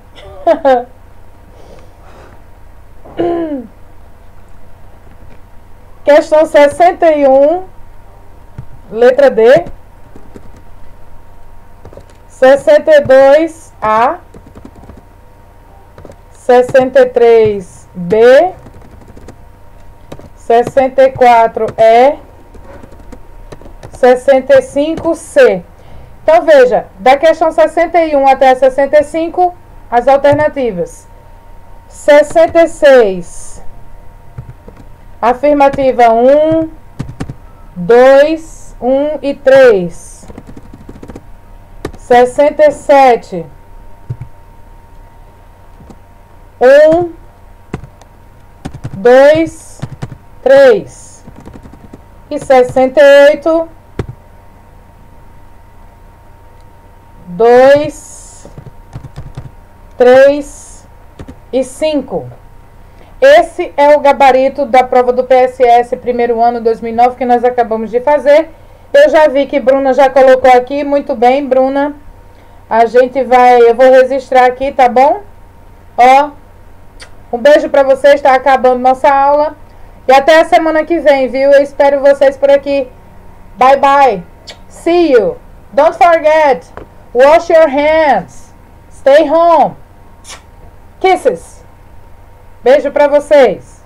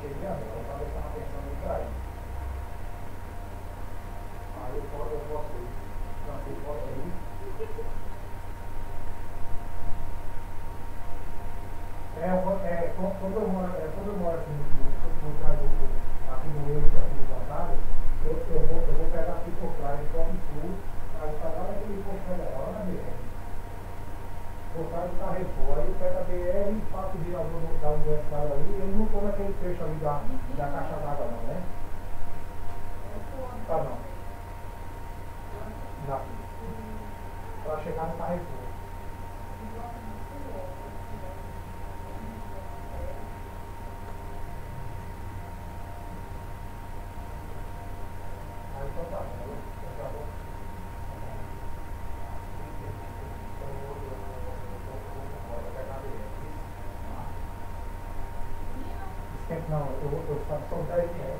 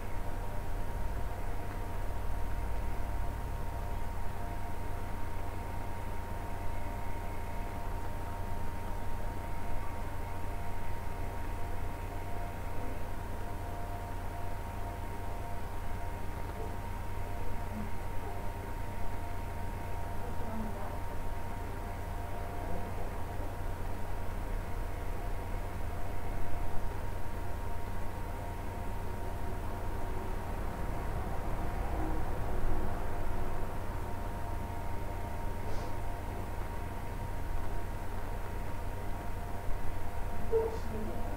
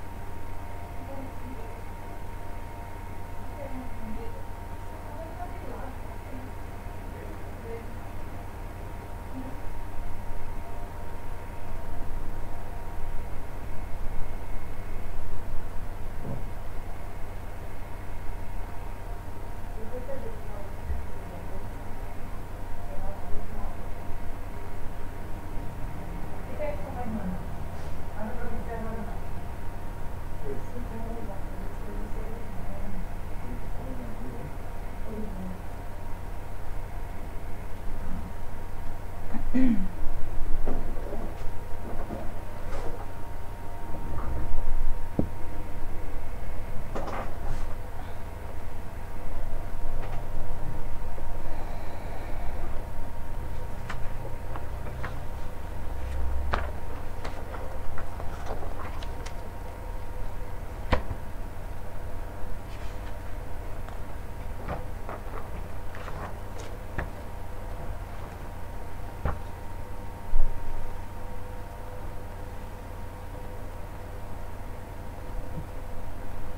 Bom dia, meus amores do segundo ano. Tudo bem com vocês? Prontos para a nossa aula de hoje? Vamos lá? Vamos começar a nossa aula de hoje.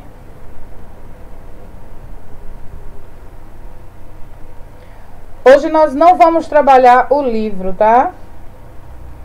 Nós vamos fazer uma prova de vestibular aqui. Vamos fazer como se fosse um simuladozinho. Certo?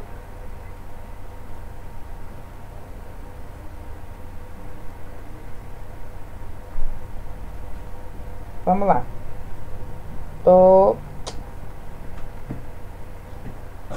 aguardando vocês. Minha carteira.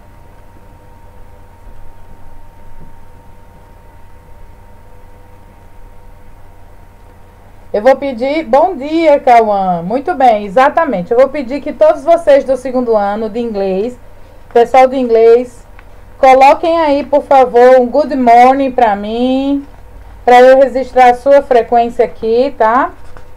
Lembrando que essa atividade vai ser relacionada justamente com a avaliação qualitativa. Então, por favor, coloquem aí um good morning para eu já registrar aqui do lado a sua frequência. Cauã Joseph já está aqui. Muito bem, deixa eu botar aqui. Cauã Joseph.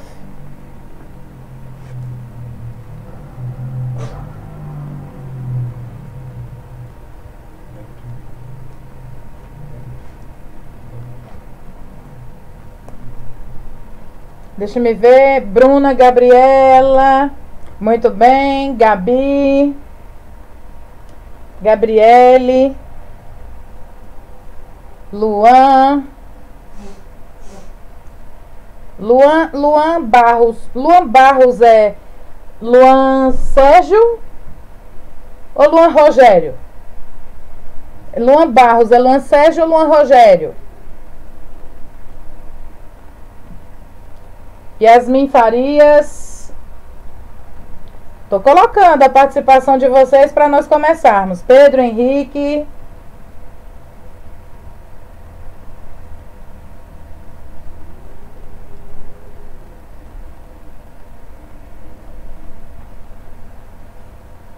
Cecília.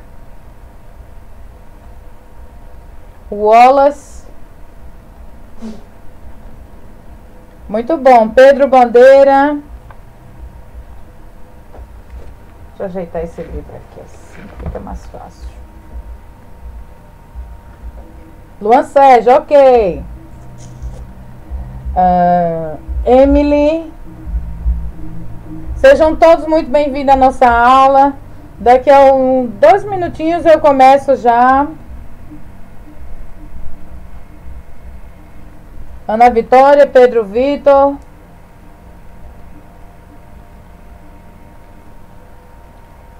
Juana Wandi, Tiago Otávio, Amanda Kessia. Vamos lá? Eu vou pedir a vocês que peguem um caderno, uma folha, para que vocês vão anotando aí, porque depois a gente vai conferir a, o gabarito, a resposta verdadeira des, das questões. Serão apenas cinco questões que nós vamos fazer hoje. Como eu já disse, é como se fosse um simulado. O simulado que vocês vão fazer em breve é interpretação de texto, tá? Então, vamos a ela.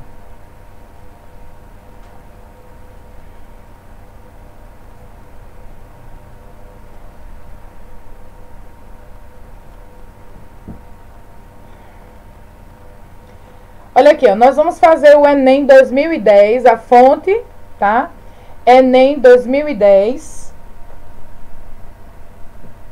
Não se preocupem em copiar nada, porque eu vou disponibilizar para vocês essa prova do esse Enem pra, no Google Classroom para que você fique com ele. Mas eu gostaria da participação de vocês de que forma? Que a cada questão, veja que a prova do Enem a parte de língua inglesa é de questão 91 a 95. Então, coloquem aí do lado Enem 2010, 91, e à medida em que a gente for respondendo, lendo, você coloca ao lado, no papel, na folhinha, a alternativa que você acha que é verdadeira, tá bom? Não precisa colocar nos comentários aqui. Não, Mila, nós não vamos usar o livro hoje. Hoje vai ser direto no computador, no celular que você está acompanhando, tá bom, Milena?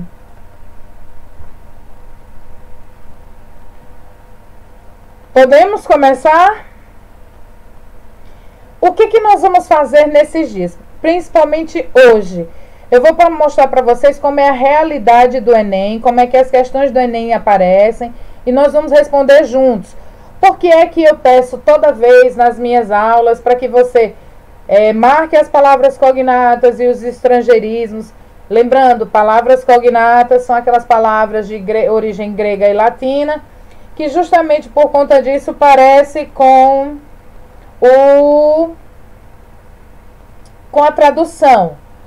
Uh, e os estrangeirismos são palavras que estão em outro idioma, qualquer idioma que nós aportuguesamos, ou seja, a gente não traduz.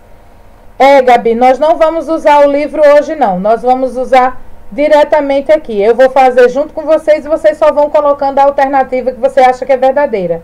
Tá bom? Bom, vamos lá. Deixa eu aumentar aqui um pouquinho.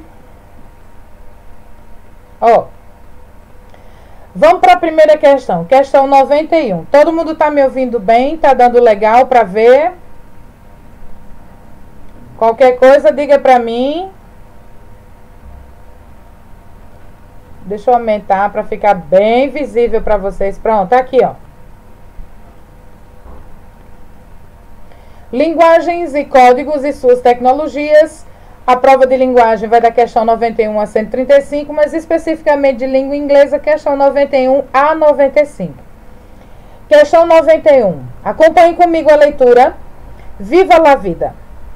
I used to rule the world. Seas would rise when I gave the word. Now in the morning, I sleep alone. Sweep the streets I used to own. I used to roll the dice, feel the fear in my enemy's eyes, listen as the crowd would sing. Now the old king is dead. Long live the king. One minute I held the keys. Next, the walls were closed on me, and I discovered that my castle stand apple peels of salt and peels of sand. Fonte bibliográfica: Martin C. Viva la Vida Coldplay in Viva la Vida or Death in All His Friends. Parlophone 2008. Bom, de cara vocês vão observar. De cara vocês vão observar que isso aqui é uma letra de música.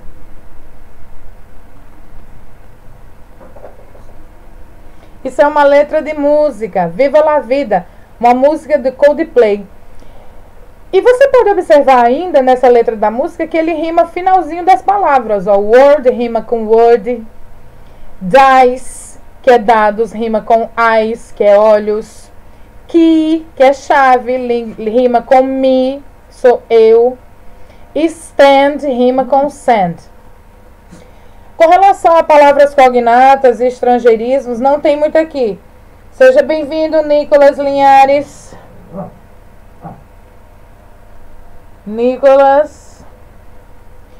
Então, uma coisa, observação que eu vou mostrar para vocês no texto, antes de passar para a questão propriamente dita, é que use the to significa costumava. Saia, Rony. Hanna! Chama a Rony aqui.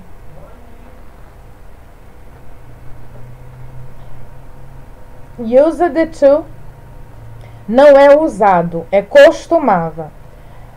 Vamos para a questão.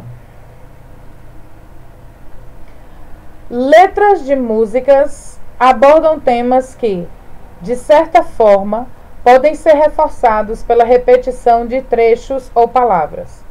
O fragmento da canção Viva la Vida, por exemplo, permite conhecer o relato de alguém que.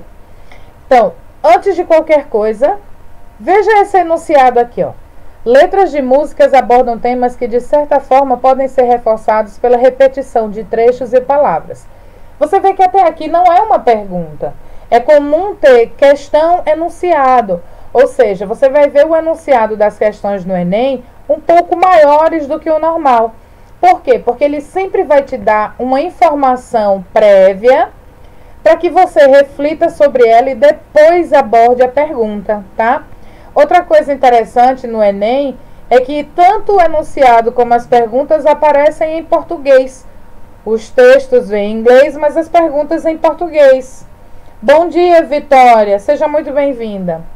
Então vamos à questão. O fragmento dessa canção Viva la Vida de Coldplay é, permite conhecer o relato de alguém que, letra A, costumava ter o mundo aos seus pés e de repente se viu sem nada. B. Almeja o título de rei e por ele tem enfrentado inúmeros inimigos. Letra C. Causa pouco temor aos seus inimigos, embora tenha muito poder. Letra D. Limpava as ruas e com seu esforço tornou-se rei de seu povo. Letra E. Tinha a chave para todos os castelos nos quais desejava morar. Vamos para o texto bem como a questão. Ó. Desculpa aí. Ó. No texto tem I used to rule the world. Eu costumava rule é mandar, regrar. Eu costumava mandar no mundo. Seas would rise when I gave the word. Os mares se erguiam quando eu dizia, dava uma palavra. Now in the morning, agora pela manhã, and I sleep alone, eu durmo só. Sweep the streets I used to own, varro as ruas que eu costumava ser o dono. Então veja, nesse primeiro parágrafo aqui, a gente já consegue identificar que a pessoa mandava no mundo, tá? porém agora não manda mais, tá? Vamos pro outro. I used to roll the dice. Eu costumava lançar os dados. Feel the fear in my enemy's eyes. Sentir o medo do inimigo e sentir o medo nos olhos do inimigo. Listen as the crowd would sing. Ouvir a multidão cantar. Now the old king is dead.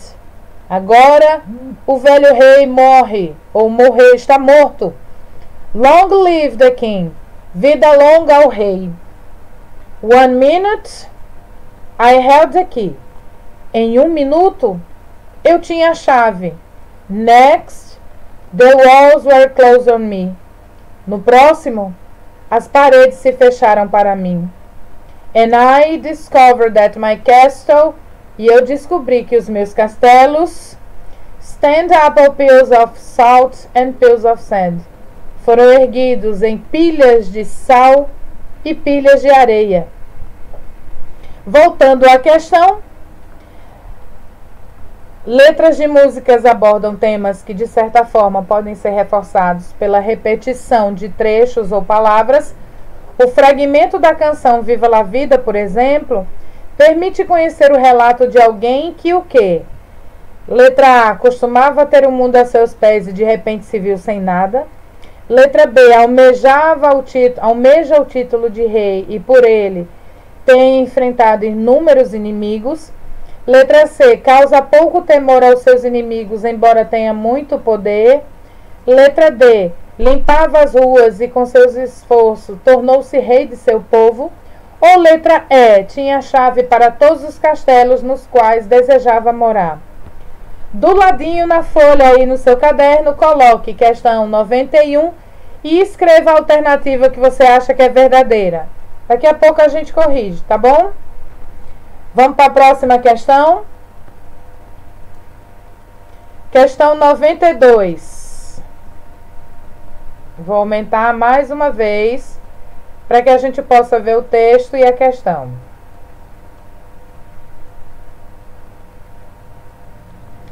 Questão 92, The Weatherman. O que seria a tradução desse título seria o homem do tempo. A palavra weather significa tempo ou clima, tanto faz, tá? Então vamos lá. They say that the British love talking about the weather. For the other nationalities, this can be a banal and boring subject of conversation. Something that the people talk about when they have nothing else to say to each other. And yet, the weather is a very important part of our lives. That at least is the opinion of Barry Gromet press officer for the Met Office.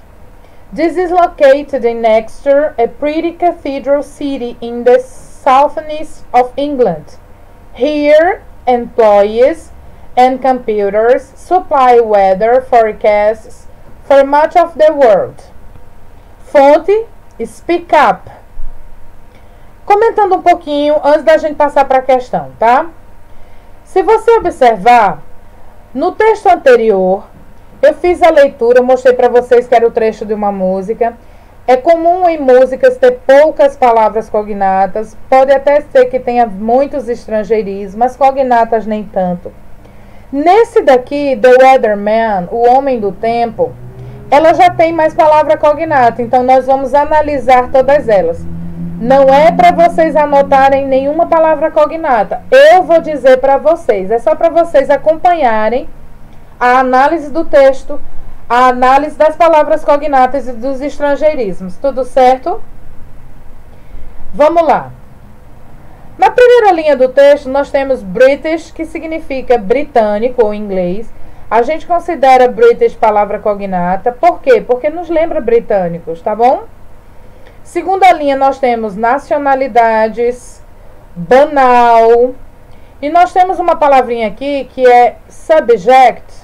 Essa palavrinha aqui. Ui, desculpa. A palavra subject, que é. A tradução dela é sujeito, mas aqui no texto ela é assunto. Por exemplo, qual é o assunto da prova? What is the subject of the test? Então, a palavra subject aqui é assunto. Então, terceira linha, continuando cognata. Conversa, conversação. Não tem mais nenhuma na terceira linha. Veja que eu estou olhando linha por linha. Na quarta linha também não tem. Quinta linha nós temos importante parte. Próxima linha, Opinião, o nome da pessoa, do cara, é a opinião de Barry Gromant. Nós não temos aqui, cuidado com a palavra officer e a palavra office, porque parece oficial e não é.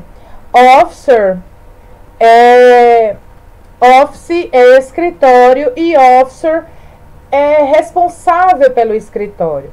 Esse MET aqui Veja que está com letra maiúscula, é a abreviação de é MET, significa meteorologia, é a abreviação MET.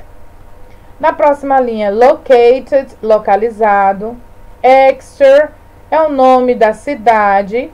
E aqui tem uma palavra bem interessante, essa expressão aqui, ó.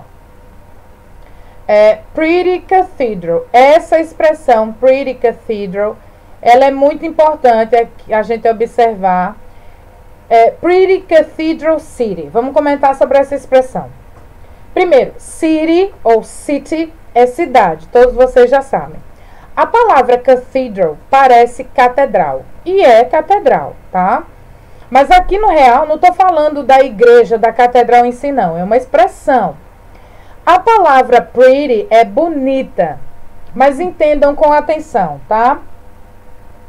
A palavra Pretty Cathedral é uma expressão que significa assim: pretty é pequena e cathedral aconchegante, igreja. Então, essa expressão pretty cathedral é como se eu estivesse falando assim, uma é, pequenininha, singela, meiga, carinhosa, tá? E quando eu falo, boto o substantivo, esses dois adjetivos com o substantivo city, Pretty Cathedral City é porque eu estou falando de uma cidadezinha de interior. Estou falando de uma cidadezinha pequena, aconchegante, mimosa. Aquela cidadezinha pequenininha que só tenha uma igreja, tá? Então a expressão é essa. Pretty Cathedral representa aquela pequena cidade. Sim, Nicolas. Respondendo à pergunta, a palavra subject, que significa sujeito e também significa assunto, ela muda dependendo do contexto. Exatamente, tá? Exatamente isso, viu, Nicolas? Continuando, então voltando aqui, ó. This is located in Exeter. Está localizado em Exeter, a pretty cathedral city, uma pequena cidade in the southeast of England, no sudeste da Inglaterra. Outra palavra importante aqui nesse texto é employees. Employee significa empregos. Palavra cognata, computer, computadores. E na última linha, nós não temos nenhuma palavra cognata. Nós temos essa expressão aqui, weather forecast. Weather forecast significa transmissão do tempo ou previsão do tempo, tá certo? The weatherman. Vamos para a questão. Ao conversar sobre a previsão do tempo, o texto mostra, letra A, o aborrecimento do cidadão britânico ao falar sobre banalidades. Letra B, a falta de ter o que falar em situações de avaliação de línguas. Letra C, a importância de se entender sobre meteorologia para falar inglês. Letra D, as diferenças e as particularidades culturais no uso de uma língua. Ou letra E, o conflito entre diferentes ideias e opiniões ao se comunicar em inglês. Detalhe: vamos comentar sobre esse texto. Como eu já disse, nós vamos analisar juntos, viu? Eu quero que vocês cheguem a uma conclusão de qual é a alternativa verdadeira.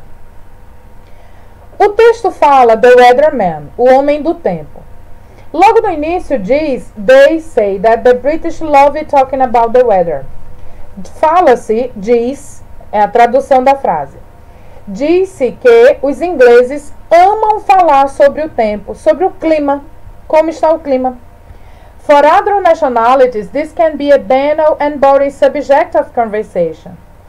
Para outras nacionalidades, isso pode ser um assunto banal ou chato para uma conversa. Realmente. Até vocês, eu, qualquer pessoa pode achar, nossa, como é que os ingleses gostam de ficar falando sobre o tempo? Nossa, isso é um assunto tão chato, tão banal, tá? Sem sombra de dúvida. Mas veja, something that people talk about when they have nothing else to say to each other. Para algumas nacionalidades, isso é como é algo que as pessoas usam falar do tempo, do clima, quando a gente não tem mais nada interessante para falar. Então a gente fala do clima. Mas ó, pam pam pam, pam. Dica da professora. Quem nunca usou o tempo, o clima para falar, para começar uma conversa com alguém? Imagina, você está num elevador, vamos pensar, viu, meus amores? Você está num elevador com uma pessoa, um gato ou uma gata, uma pessoa que você tem interesse de fazer amizade ou conversar, e vocês dois estão parados esperando o elevador subir ou descer e não sabe o que falar. Diz bom dia, bom dia, a pessoa responde nada mais isso. Quem nunca chegou e disse assim: nossa, tá quente hoje, hein? Isso é falar do tempo. Nossa, tá chovendo muito, né? Quando você faz isso, você está tentando iniciar uma conversa. E a melhor opção para iniciar uma conversa com alguém é falar do tempo. Tá? Só uma informação. Sempre come a, a conversa deslancha. A gente começa. Nossa, tá quente hoje, né? Aí a outra pessoa responde, não é? Tá quente demais. Ontem até fez um temazinho, um climazinho bom, mas hoje tá mais quente. Sempre a conversa começa, tá bom? Só para vocês ficarem atentos que é um assunto chato, é tedioso. É tedioso a gente sentar numa mesa e dizer assim, vamos conversar sobre o tempo? Mas ele é um start para conversa maravilhoso, tá bom, amores? Voltando. Uh, and yet, localizem no texto a quarta linha. And yet, the weather is a very important part of our lives. At least is the opinion of Barry Gromant, press officer from the Meat Officer. E na realidade, gente, o tempo, o clima, é um, algo muito importante para as nossas vidas. Mesmo que a gente não tenha esse tema como assunto para uma conversa. Bom, questão: ao conversar sobre a previsão do tempo, o texto mostra o aborrecimento do cidadão britânico ao falar de banalidades. É essa? B. A falta de ter o que falar em situações de avaliação da de línguas. Avaliar línguas. Aí fala sobre o tempo. Letra C. A importância de se entender sobre meteorologia para falar inglês. Quer dizer que para a gente falar inglês a gente precisa saber de meteorologia? Letra D. As diferenças e particularidades culturais no uso de uma língua. Letra E. O conflito entre diferentes ideias e opiniões ao se comunicar em inglês. Anotem no seu caderno. Questão 92. Coloque a letra que você acha que é verdadeira. Vamos para o próximo texto. Ah, gostou? Foi Milan? Mas é isso mesmo. A gente entra dentro do elevador, meu amor. Meu amor, se eu entrar dentro do elevador e tem alguma pessoa que eu gostaria de puxar conversa com ela, eu vou falar que tá abafado, que tá quente, que o ar-condicionado do elevador não tá funcionando. É clima. Bora para a questão 93. Ou melhor,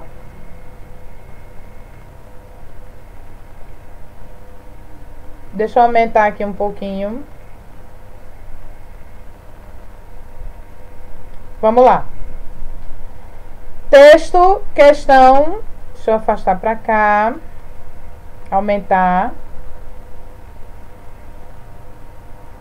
Questão 93. The death of the PC.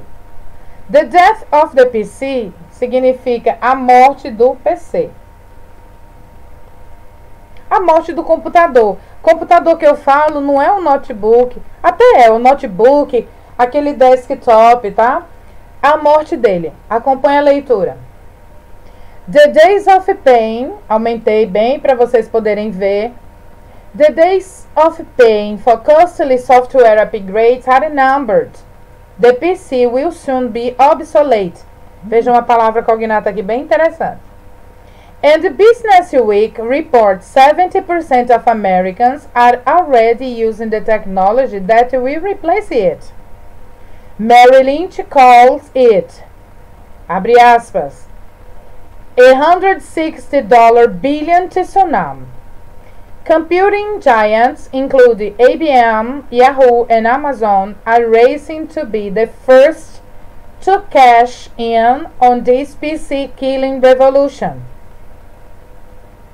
Yet, two little known companies have a huge head start. Get their names in a free report from the Motley Fool called The Two Words Bill Gates Doesn't Want You to Hear. Click here for instant access to this free report. Voltando ao início do texto, vou diminuir só para o texto aparecer todo. Se ficar ruim para vocês verem, me digam, viu, meus amores? Vamos lá. Analisando desde o início do texto, antes da gente passar para a questão propriamente dita, observe que a prova do Enem ela é desenvolvida assim. Questão, texto, questão, texto, questão, texto, certo? Então vamos lá. The death of PC, a morte do PC, logo no início diz assim: These days of paying for costly software upgrades are a number. Nós temos aqui a palavra software, que é um estrangeirismo, upgrade também. E essa frase diz: os dias de pagar caro pela atualização de software estão contados. The, the PC will soon be obsolete.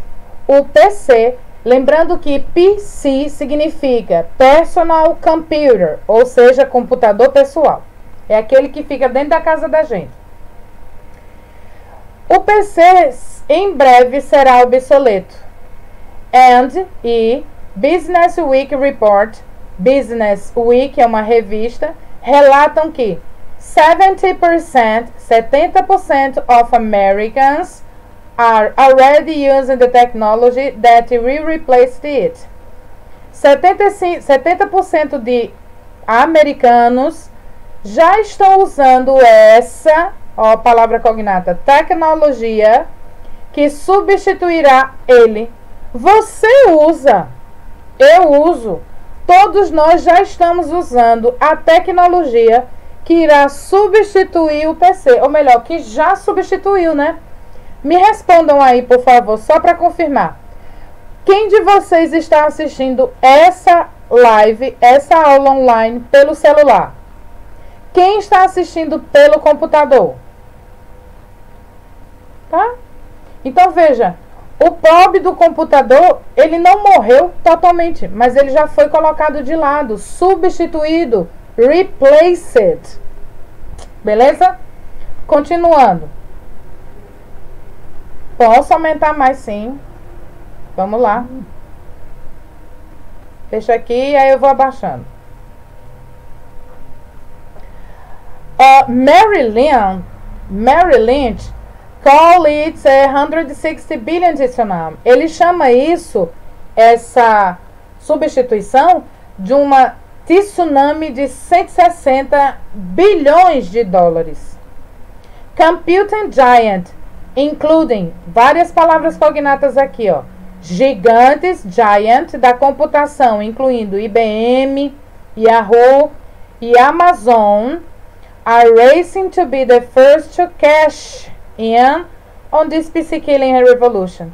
Segundo o texto, essas grandes empresas da computação como IBM, Yahoo e Amazon já estão correndo a racing para serem as primeiras a bancar essa morte do PC, ou seja, a revolução da morte do PC. Olha aí, ó. Ó, Nicolas está pelo computador, mas aí, ó. Mila, Noah, Nawandi, é, Mila, Nawandi, Pedro Vitor estão pelo celular. Então, a gente consegue substituir, tá? Continuando. Finalzinho do parágrafo. Pois é, Nicolas. Esse novo, esse novo equipamento, ó, e olha, preste atenção. Nicolas acabou de comentar assim: a senhora viu o novo iPad, iPad Pro consegue superar muitos notebooks. Preste atenção no teu comentário, porque ó, tem a ver com o que está aqui na, na prova, viu? Tem a ver em que sentido? Quem é os fabricantes dos iPads?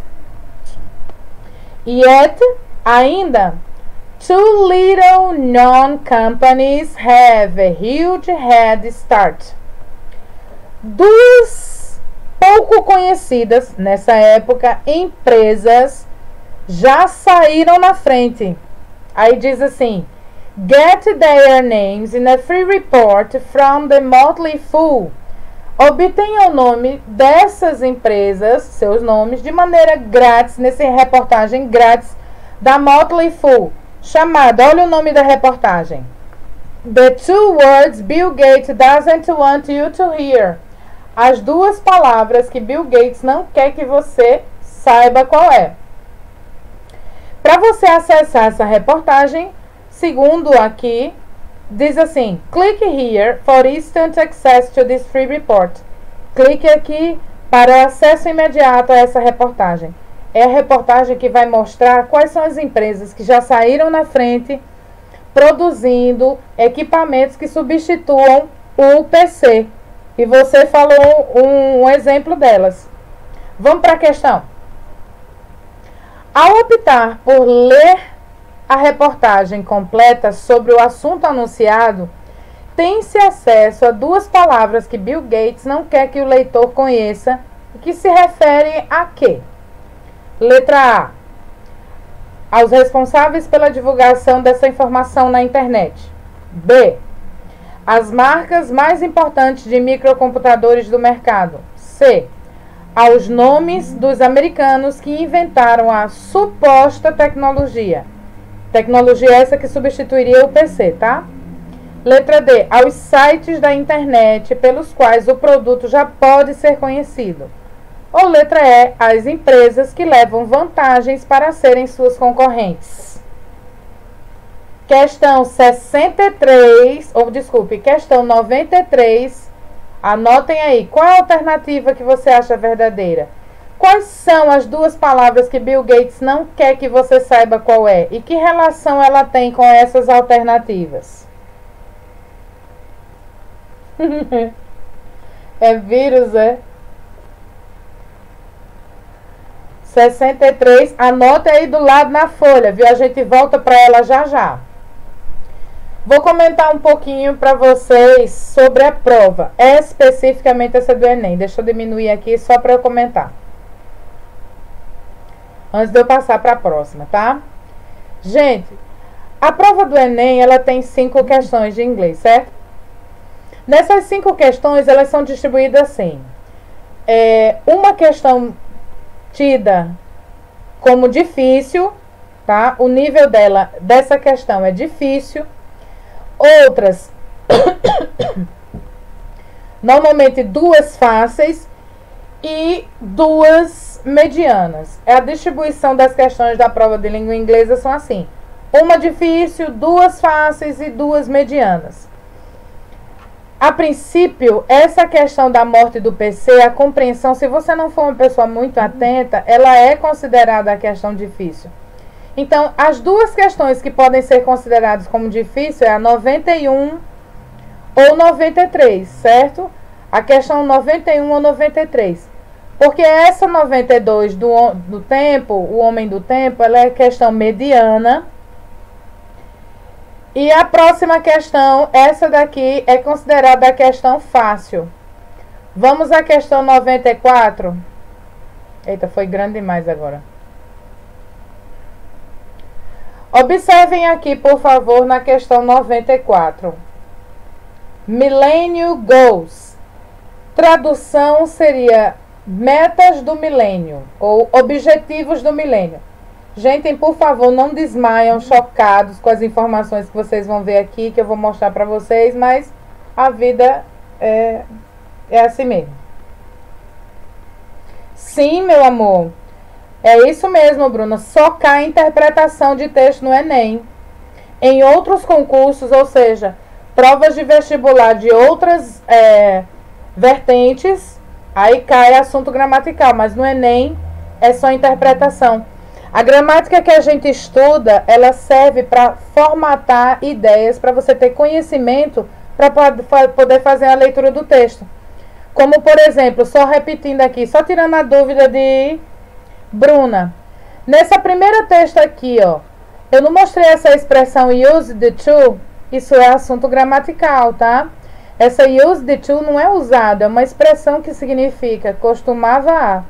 Então, é gramática justamente para que você possa compreender com propriedade as sentenças que aparecem no texto, tá certo? Mas vamos lá. Questão 94.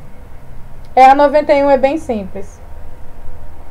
Se você achou Mila, é, Milena, a questão 91 bem simples, essa daqui você vai dizer que é mamão com açúcar. Observa. Objetivos do milênio, tá? Então vamos a eles. Primeiro, observe que tem várias imagens e as imagens já traduz o que está embaixo, tá? É, no ano dessa prova, essa prova foi do ano de 2010, os objetivos do milênio eram 1. Eradicate extreme poverty and hunger 2. Achieve universal primary education 3 Promote gender equality and empower women. 4. Reduce child mortality. 5. Improve maternal health. 6. Combat HIV, AIDS, malaria, and other disease. 7. Ensure environmental sustainability. And 8. Global Partnership for Development. Analisando, isso é o texto, tá, amores? Analisando, em 2010, qual era a meta do milênio, tá? A meta do milênio era, número um, erradicar a extrema pobreza e fome. 2. Aquisição da educação primária para todo mundo, universal. 3. Veja o símbolo feminino. Promover a igualdade de gênero e o empoderamento feminino. 4. 4. Reduzir a mortalidade infantil. 5. Melhorar a saúde materna. 6. Combater a HIV ou AIDS, malária e outras doenças. 7. Assegurar a sustentabilidade ambiental. 8. É, desenvolvimento de parcerias global. Veja a questão, viu? Cuidado para não cair duro.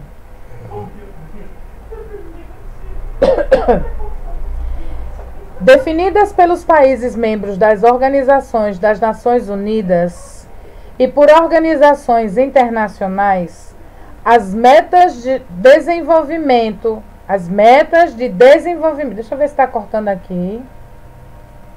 Tá. As metas de desenvolvimento do milênio envolvem outros oito objetivos a serem alcançados até 2015. Gente, apesar da cultura, da diversidade cultural, esses objetivos mostrados na imagem são comuns ao mundo todo, sendo dois deles. Antes de ir para a questão, gente do céu, escutem aí.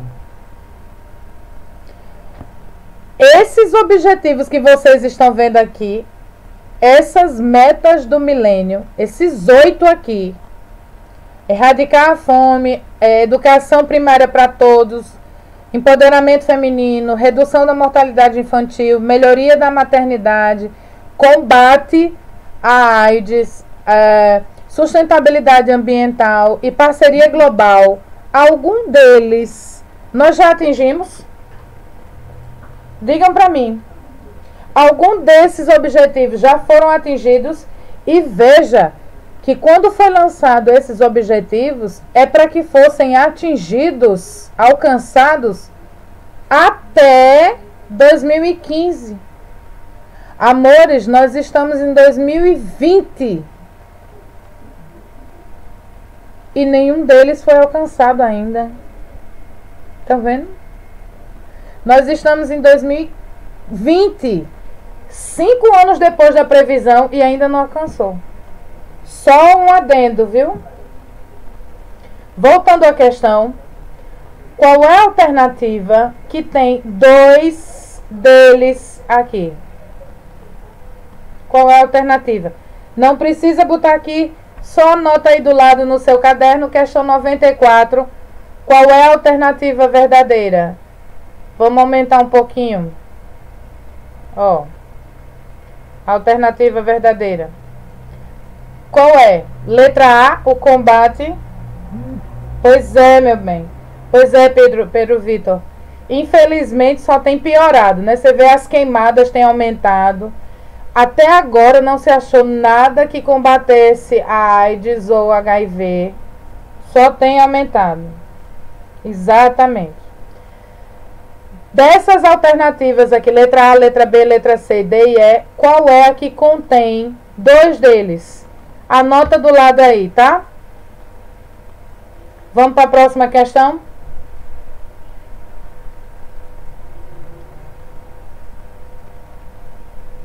Precisa que eu leia a questão as alternativas da 94? Acho que não, né?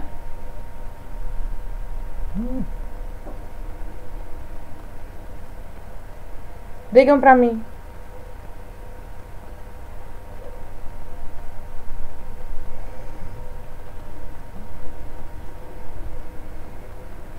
Posso ir para a questão 95? Tá tudo bem? Posso ir para a questão 95? Ai.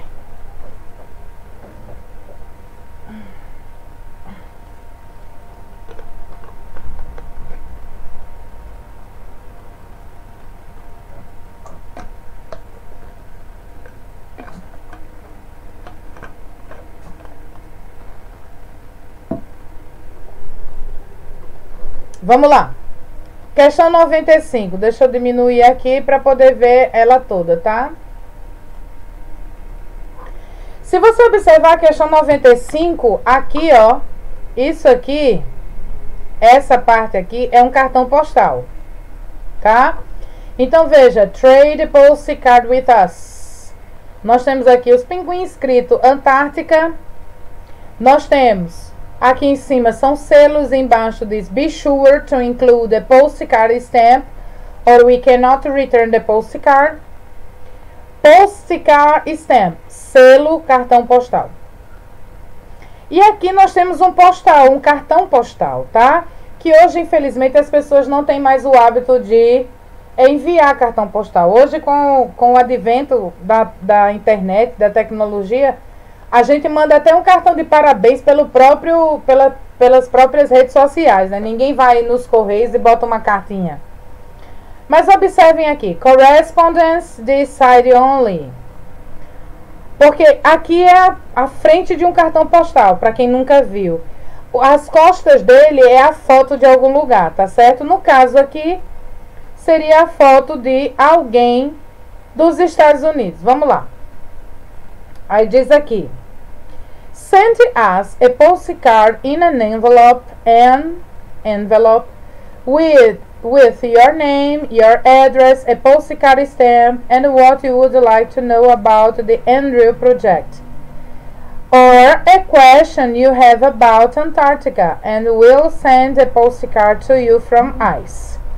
Do lado de cá é onde a gente justamente coloca quem é endereçado e o endereço, tá? Send us a postcard in an envelope está dizendo nos envie um cartão postal em um envelope with your name, com seu nome, your address, seu endereço, and post stamp, um selo a mais, and what you would like to know about the Andrew Project. E o que, que você gostaria de saber sobre o projeto Andrew? Or, ou, a question you have about Antarctica ou uma pergunta sobre a Antártica. And we'll send a postcard to you from the ice. E nós enviaremos para você um cartão postal do gelo. Vamos para cá. Questão 95, tá? Questão 95. Ela diz: os cartões postais costumam ser utilizados por viajantes que desejam enviar notícias dos lugares que visitam a parentes e amigos. Por exemplo, se algum de vocês for à Disney, quando acabar essa pandemia, for à Disney, for a Paris, for a Itália, algum lugar, mande um cartão postal de lá para a professora, tá bom? Continuando. Publicado no site do projeto Andrew, o texto em formato de cartão postal tem o propósito de: letra A. Comunicar o endereço da nova sede do projeto nos Estados Unidos, esse é o objetivo. B. Convidar colecionadores de cartões postais a se reunirem em um evento. C. Anunciar uma nova coleção de selos para angariar fundos para a Antártica. D divulgar às pessoas, divulgar às pessoas a possibilidade de receberem um cartão postal da Antártica, ou é solicitar que as pessoas visitem o site do mencionado projeto com maior frequência. Qual é a alternativa verdadeira?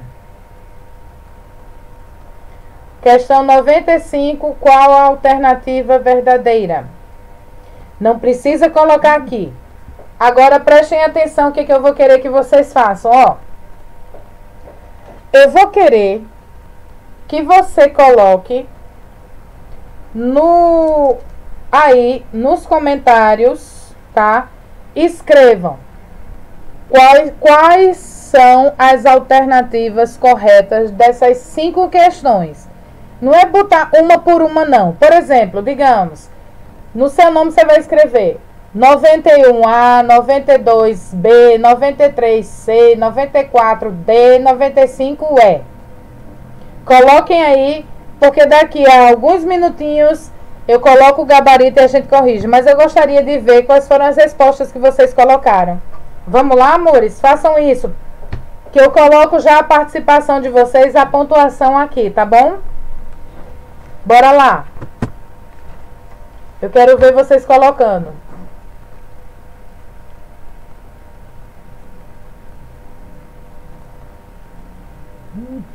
Tem algumas pessoas que eu não vejo na minha aula, não estão aqui.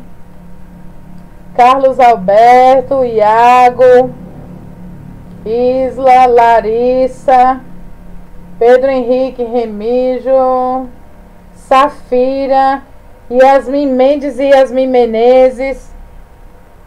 Nawande já colocou. Juan Nawande, muito bem. Quem mais? Deixa eu botar aqui. Logo o Juan, Juan Nawande já botou.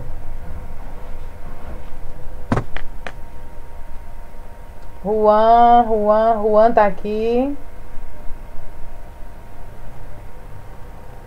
Eu quero todas elas, Emily, não é só a primeira não. Bruna, Bruna já também. Pedro. Deixa eu ver quem mais. É, pagou, Pedro. Luan Barros.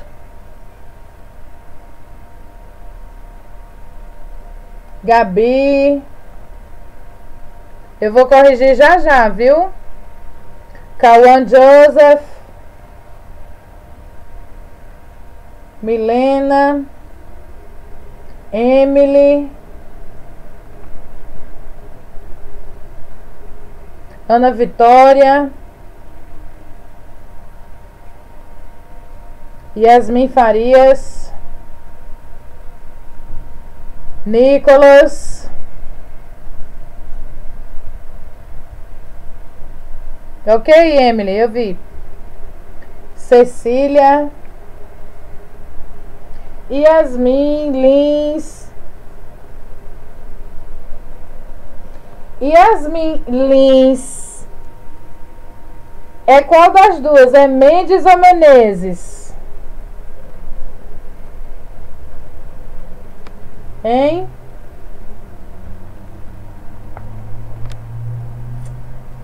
Yasmin Lins é qual das duas?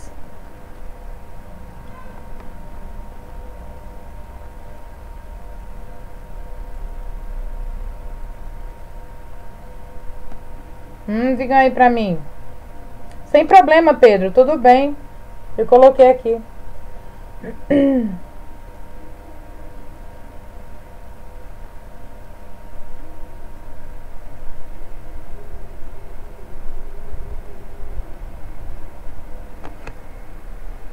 Todos já colocaram? Deixa eu ver.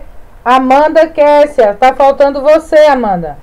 Mendes. Ok, Mendes. Olha, Vitória Regina, Tiago Otávio, Pedro Vitor Barbosa é, e Amanda Mendes, Amanda Kessia não colocaram, viu, gente? Iago, falei.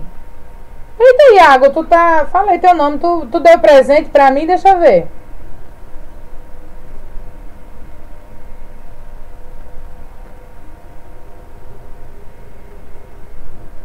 Iago, você não me deu bom dia. Por isso que eu falei que você não estava assistindo aula. Amanda Kessia, muito bem. Ei, Amanda.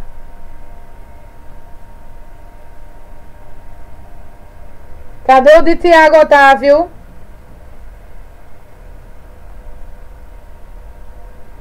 Tu colocou, Tiago? O gabarito? Não, eu quero o gabarito. Não tá... Tá não, Tiago. Eu vi, Pedro. Pedro Bandeira.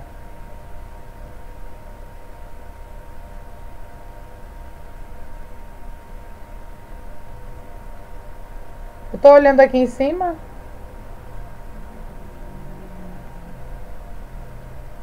Tá não, eu acabei de olhar, Tiago.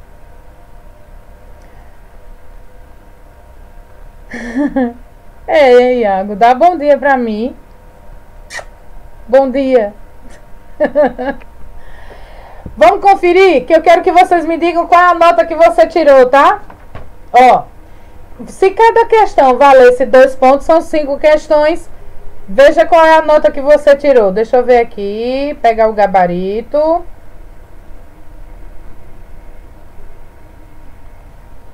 Vamos ao gabarito da prova. Preparados?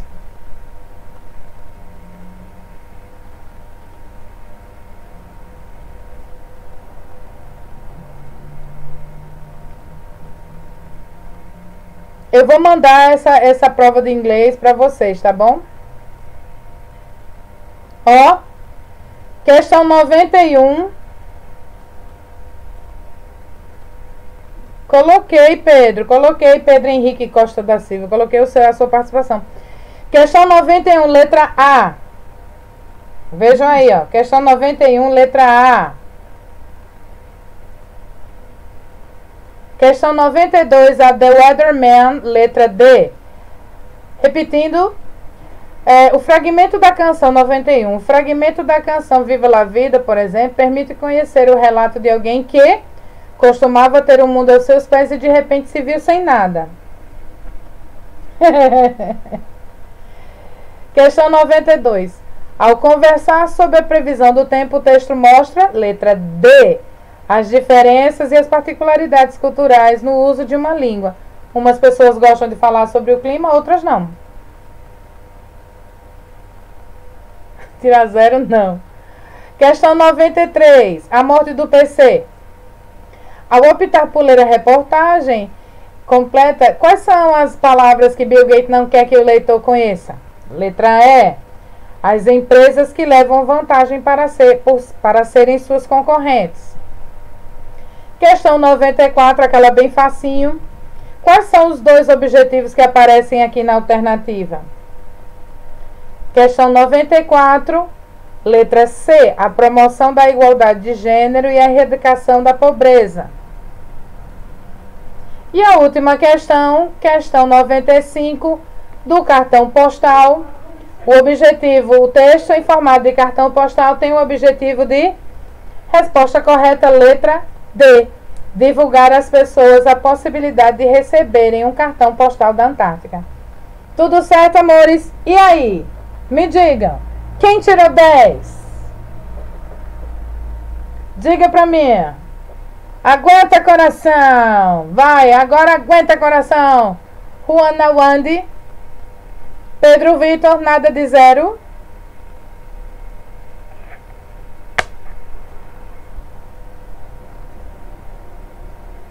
Estamos terminando a nossa aula. Espero que vocês tenham curtido a aula de hoje. Se curtiu, bota aí, Nawandi. Eita, Nawandi. Se fosse nota, seria 8, hein? Parabéns, Nawandi. Bruna, 10. Luan Barros, 8. Gabi, 10. Nicolas, 8. Pedro, 8.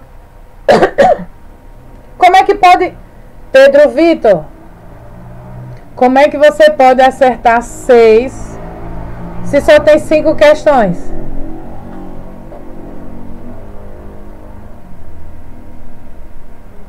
Vamos transformar isso em nota, gente?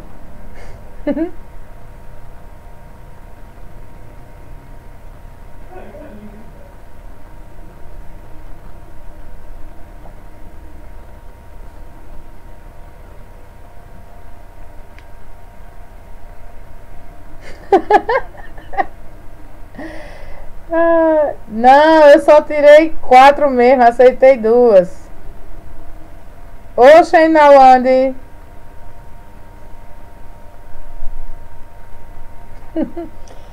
Eu vou disponibilizar essa prova para vocês no Google Classroom, viu? Ó. Um beijo grande para vocês. Até a semana que vem. Na semana que vem, sim, nós vamos usar o livro, tá bom, amores? Ó. Kisses. I love you so much. I miss you. Amo muito vocês e tô sentindo falta de vocês, tá? Se cuidem, fiquem em casa para isso passar logo, tá bom? Beijo. Fiquem com Deus. Tchau, tchau. Bye, bye. See you.